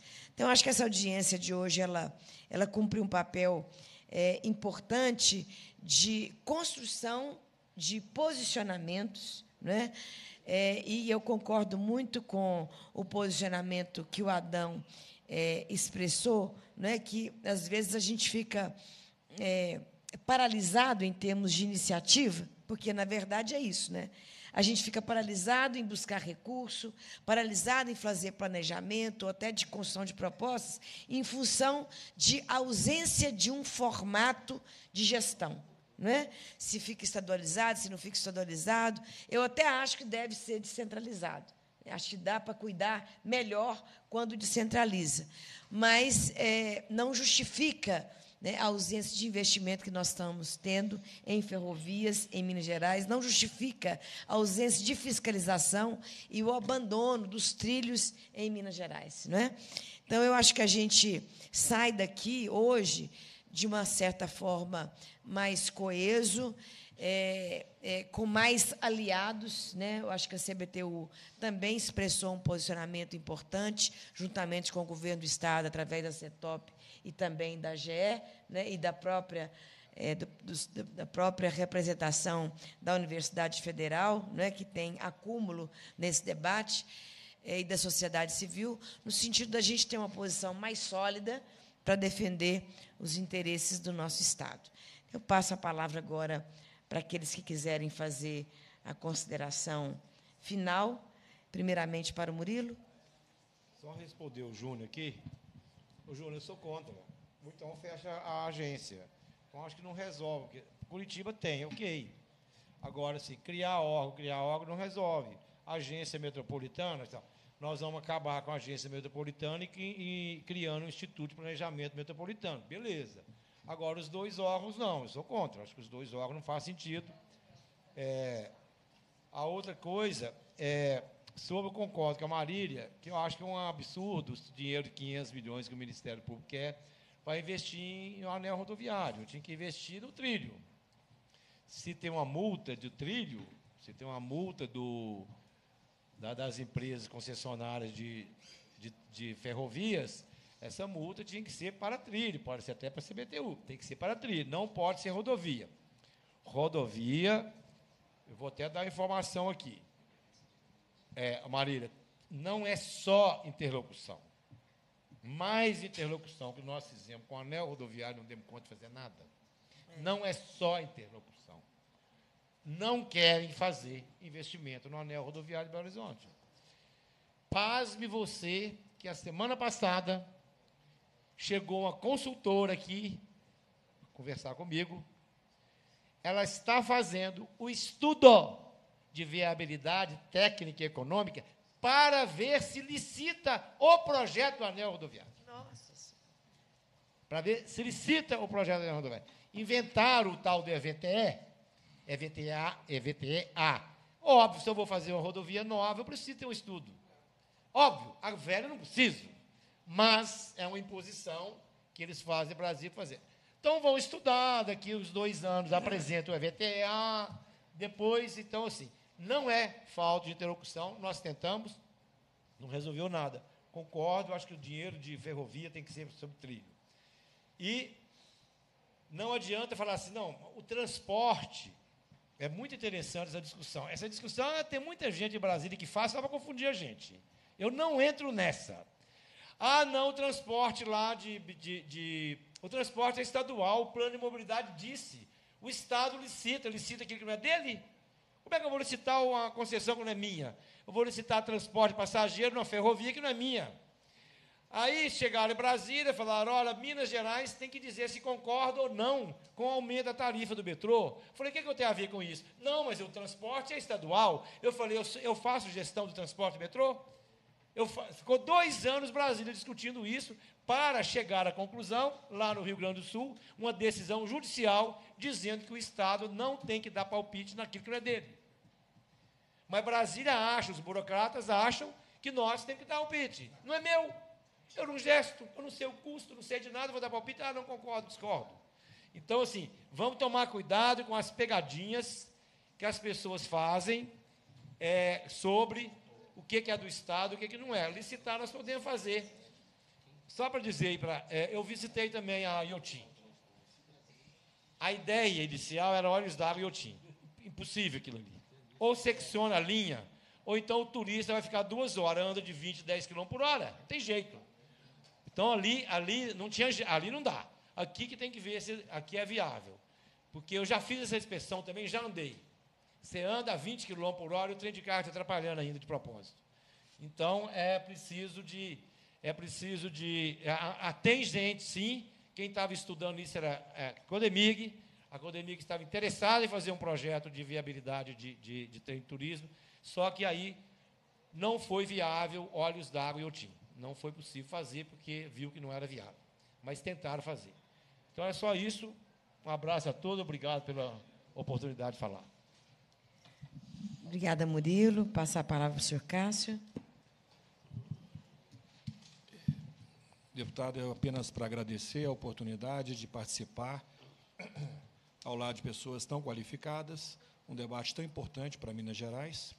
Parabenizar a comissão, que faz um trabalho é, significativamente histórico, que vai repercutir é, em todas as searas de importância do desenvolvimento do Estado de Minas Gerais e reafirmar o compromisso da Advocacia Geral do Estado de estar onde, quando e o que for necessário na defesa intransigente dos interesses do Estado de Minas Gerais e, por consequência, do seu povo. Muito obrigado, estou à disposição. Obrigada, senhor Cássio. É passar a palavra para o senhor Nilson. Bom, em primeiro eu queria tentar responder a, a questão que o Nelson colocou sobre a capacidade estruturante, mais ou menos né, vou resumir assim, dos transportes sobre trilhos. Né? É, não muito longe, não muito distante da nossa realidade, né, nos anos 60, na área urbana, o que os bondes fizeram isso, né, acabaram ele com rodoviarismo dos anos 60. Né? Mas os bondes, boa parte da expansão urbana e metropolitana foi feita a partir dos bondes, né? que chegaram a ter, com Recife, 800 quilômetros de linha de bonde. Né? É, isso também é questão regional, é a mesma coisa. Né? é, o que os trens regionais foram no passado para desenvolvimento estadual, né? E, e com relação às estações como também elemento estruturante desse, desse, desse equilíbrio regional, é, eu lembro agora, recentemente, eu tive em Berlim, é, é bem, bem típico do que você está falando, por exemplo, a, não sei se você conhece a Alexanderplatz, lá no Berlim Oriental. É bem isso, né? É, é, é aquela harmonia com o desenvolvimento urbano, aquela estação, e ela é a integração intermodal, né?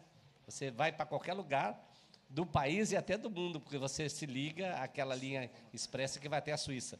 Então, assim, é óbvio que os, os, sistemas sobre trilhos são, são sistemas é, é, de, de, organização estrutural, isso não tem, não tem dúvida sobre isso, né?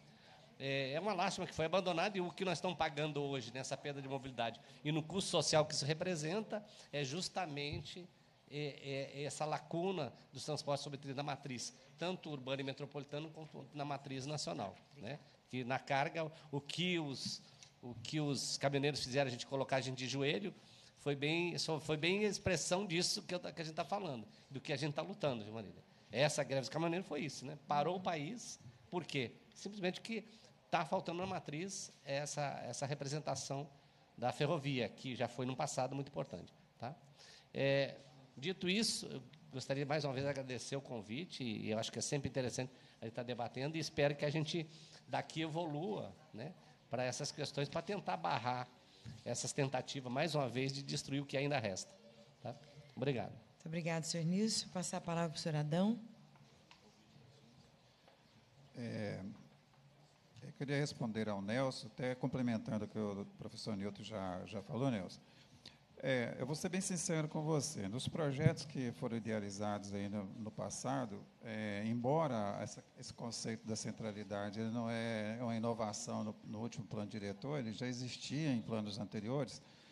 É, eu te confesso que isso não, não foi muito considerado, não, porque a gente, esses projetos eles foram baseados na, na pesquisa Origem Distinto, que foi feita, que eu te falei, no, no anos 2000, é, a partir dos, dos, grandes corredores, das demandas que se projetavam para esses corredores. É, então, os projetos eles foram, de certa forma, idealizados ou, ou escolhidos em função desses, desses estudos. não se pensava assim, numa maneira mais efetiva, na questão da centralidade. Eu citei a centralidade aqui porque no último plano diretor, como foi isso foi foi a base de, do, do, trabalho do plano diretor, pelo menos eu entendi assim na época, nos, nas, nas poucas reuniões que eu participei, eu achei isso muito interessante. Isso é uma coisa a se procurar agora. Logicamente que o plano diretor ele projeta 30, 40 anos. Né? Nós estamos falando de uma coisa mais emergente agora, que é uma situação que a gente precisa resolver. Um corredor da Amazonas muito carregado e outro e, vai por aí afora. Mas, mas, sendo honesto com você, é, não se discute é, os projetos hoje de mobilidade, pelo menos a CBTU não está fazendo isso, pode ser um erro, mas não está fazendo, não se, não se discute os projetos à luz dessas centralidades que foram citadas lá. A centralidade aqui vai ser assim, aquela vai ser assada, e a ligação dessa com essa. Não, se, não está se discutindo isso, não. Isso é realmente é uma falha, porque se houve um planejamento para isso ocorrer, deveria estar sendo pautado né, os, os novos projetos. Eu não sei se eu te respondi, mas é outra coisa, é, deputada Marília, eu, eu, eu, só queria fazer só um comentário aqui, porque eu, eu vejo o seguinte: é, parece que nós estamos discutindo assuntos, embora falando sobre trilho, mas de uma relevância muito diferente uma das outras. Né? Quando eu vejo a parte técnica, o Zenilton falando ali nessa questão estratégica nacional, de se pensar nessa questão do, do, do, dessa ilha que Minas Gerais está se tornando, é, assim, é um fato que eu não sabia, não estou atento a isso, mas a discussão, por exemplo, quando fala na, na carga, é, em abrir janela para passar um, um, trem de passageiro, é uma discussão que foge, às vezes, ao conhecimento da gente. Então, eu vejo que a gente está discutindo um assunto assim, de uma relevância muito grande, mas assim, é, num ambiente muito comum, que talvez devesse ser tratado com uma certa. É, como é que eu vou falar? Separado, não, mas, por exemplo, discutir a carga, discutir a concessão, discutir o é, e, outros assuntos é, correlatos a isso, num fórum específico com pessoas. Né? E, e ah, quando se fala em passageiro, ah, então, passageiro metropolitano, então é uma discussão muito própria para quem está discutindo. Ah, passageiro de longa distância, tem outro, um outro discurso que talvez a gente pudesse estruturar isso. É só uma sugestão que eu me perco, eu não consigo contribuir nada quando se fala em carga, por exemplo. Né? Mas, quando se fala em transporte metropolitano de passageiro, quando fala em metrô, em transporte de massa, é, na, na, questão da integração que nós não tratamos aqui, que é um assunto importantíssimo, não se fala em transporte passageiro sem falar em integração. É preciso que outros, outros atores também estejam presentes nessa discussão, porque eu falo muito isso. Às vezes, quando se fala muito em metrô, em expandir metrô e constrói terminal, mas não, não conversa com o outro lado lá, que é o cara do ônibus, por exemplo, que ele tem que parar lá, integrar com o metrô, discutir uma política tarifária que há anos não se discute no nosso ambiente aqui. Não se fala em política tarifária. São ações, às vezes, intempestivas. Ah, o metrô é 1,80, passa para 3,20, assim, porque existe uma necessidade de regionalizar, estadualizar. Não se projeta. É, aí deu no que deu, voltou tudo atrás. Então, assim, um planejamento errado, é, iniciativas intempestivas, sem ter uma, é, um, um, projeto é, mais a longo prazo. E, e então, assim, se pensa em expandir, ah, vamos para lá, porque lá é o melhor. Mas se ir para lá, mantendo esse estado que a gente vive hoje, dos corredores carregados com linhas de ônibus, agora nós já temos um, um novo ator, que é são os, os, aplicativos de transporte, que estão interferindo muito, muito fortemente no transporte coletivo. Então, assim, é, esses fóruns, de certa forma, não existem nesse ambiente nosso de discussão. Em lugar nenhum se senta para discutir isso. Política tarifária, então, é, eu, eu bato nessa tecla sempre. É, a gente vai ser feliz e ter um transporte de qualidade quando quem participa, participa ganha. Tem que entender o papel social de de entidades como a CBTU, a, a, secretaria, mas tem que entender o papel do cara lá que quer dinheiro, ele ganha dinheiro, ele não é bonzinho, não tem ninguém bonzinho nisso, não. É preciso discutir, formar opinião e ter e as, as, as empresas, as entidades que participam, ter a remuneração adequada, é, o usuário ser bem atendido, e esses fóruns não existem, não existem. Então é isso. Muito obrigada, senhor André.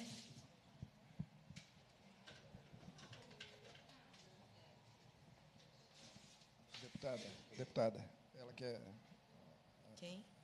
Você quer falar antes de mim? Pode falar. Só um instantinho, nós vamos concluir as falas aqui. Ah, tá. Depois a gente avalia se a gente vai abrir, que a gente está nas considerações tá. finais, tá bem? Bom, eu vou passar rapidamente aqui em alguns assuntos que foram tocados. Seguinte, há 63 anos que o Estado de Minas Gerais não liga para o que acontece nas suas ferrovias. Foi no, no ano que ele vendeu a Rede Mineira de Aviação. Então, de lá para cá, tudo que aconteceu de ferrovias em Minas Gerais foi decidido ou no Rio de Janeiro ou em Brasília, ou então na sede das empresas. Então, nós estamos pagando, sim, um preço pelo desleixo. Essa ação agora da, da- do governo do Estado, questionando uma, uma atitude de Brasília, é uma novidade em 63 anos. Foram 63 anos de faz o que vocês quiserem. Certo? Então, eh, Belo Horizonte, por conta disso, por conta das concessionárias e tal, ela virou simplesmente uma- um, um- um corredor de passagem de cargas em direção a portos. Não sai nada de Belo Horizonte daqui de carga para coisas? Pra, nem, nem para os portos. Belo Horizonte não, não, não leva, não sai carga de Belo Horizonte de trem, certo? O que a gente vê passando por aí é passando, é de lá para cá e para Porto, de vagão vazio para cá, vagão cheio para lá para Porto. É isso que Belo Horizonte virou, né? Ah, agora eu queria comentar a respeito da ação eh, da, da Procuradoria, que é de extrema importância, é, é o seguinte, embora tardia, embora são ações tardias, porque a- o Estado de Minas devia estar prestando atenção há mais tempo no que está acontecendo, mas é extremamente é, importante isso. E eu queria lembrar o seguinte, foi tocado já no assunto, inclusive pelo senhor Nilson ali, que quando a gente lê essa 3448, que permite essa renovação, inclusive, antecipada, né, a, gente, é um, a gente vai se revoltando da primeira linha à última, mas tem, uma, tem, um, tem, um, dos, tem um, do, um dos capítulos assim, que são os mais, que mais me revoltou pessoalmente. É, é exatamente esse que ele cita, de que permite, inclusive, que essas concessionárias vendam tudo que não interessa a elas. Elas podem fazer dinheiro com tudo. Se elas não, se elas não quiserem, o, é, por exemplo, Lavras Três Corações, ah, não me interesso mais. Elas podem vender as estações, elas podem vender os pátios, elas podem vender a linha, podem vender o material que está lá, podem vender tudo. Elas podem vender e enfiar dinheiro no bolso, independente de mais nada. Você, você já citou esse absurdo que é a disponibilização do patrimônio. é. Mas isso é de uma gravidade, de uma, de uma brutalidade com o patrimônio ferroviário, e isso está lá na, tranquilo, passou pelo Congresso Nacional, está lá, e é um dos pilares das, da 13448. Certo? É uma das coisas com que as concessionárias contam, porque vai aliviar o quê? Os compromissos que elas têm hoje de manter o patrimônio que está na mão delas.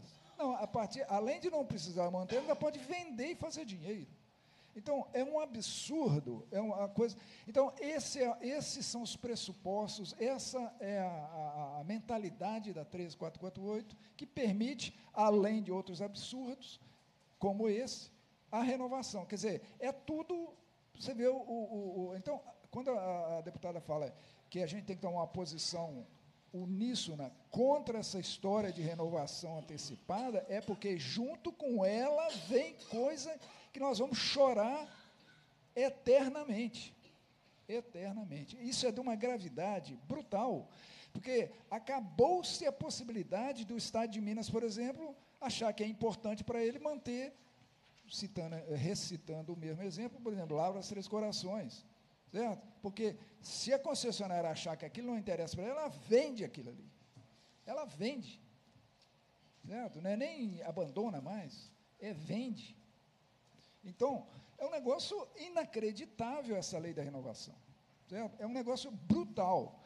É, quando o Adão fala aqui que nós estamos é, misturando os assuntos, nós estamos misturando os assuntos porque é tudo farinha do mesmo saco. Nós estamos colhendo, nós estamos colhendo essa inexistência de transporte metropolitano de passageiro em Belo Horizonte por conta da destinação do que havia para transporte de carga. Entendeu? Então, é, as coisas são co- correlacionadas. Transporte de produtos. É, exatamente, que não são nem daqui, são passagem de produtos. Então, as coisas são muito inter- é, é, é, é, é, interconectadas. Tudo isso é muito interconectado. Né? Agora, a gente vê, CBTU, é, eu sempre, a minha leitura, eu já falei isso aqui na comissão em outras oportunidades, eu, eu sempre percebi, a, a partir dessa história de estadualização aqui da operação do, do metrô, eu, eu sempre eu percebi a, a, CBTU sendo escorraçada aqui de, de, de Belo Horizonte. Que eu sempre já falei que é um erro brutal. Porque onde a CBTU é bem tratada, bem recebida, valorizada, o negócio está indo para frente. Certo? Agora nós estamos com essa história de Metrominas, que então, ah, é uma imposição da lei. Pô, nós estamos aqui no lugar que muda a lei. Então vamos rever esse negócio.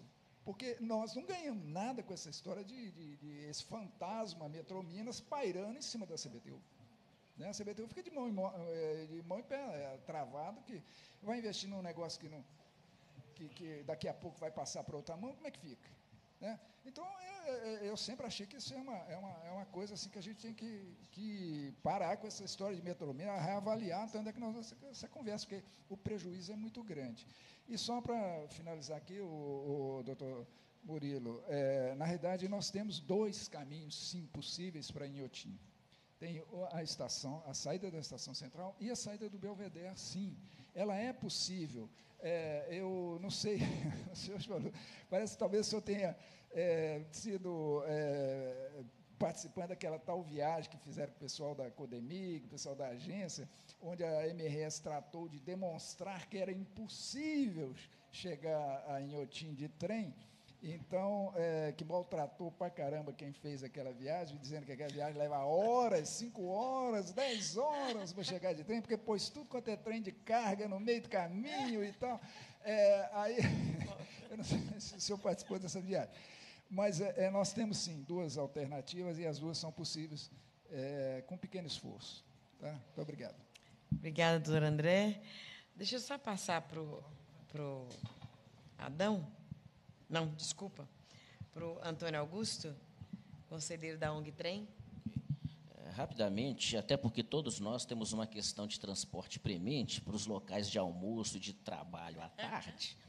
É, agradecer ah, pela organização, pela condução aqui da, da sessão de hoje e, e, inclusive pela síntese aí dos trabalhos da comissão até o momento, muito interessante.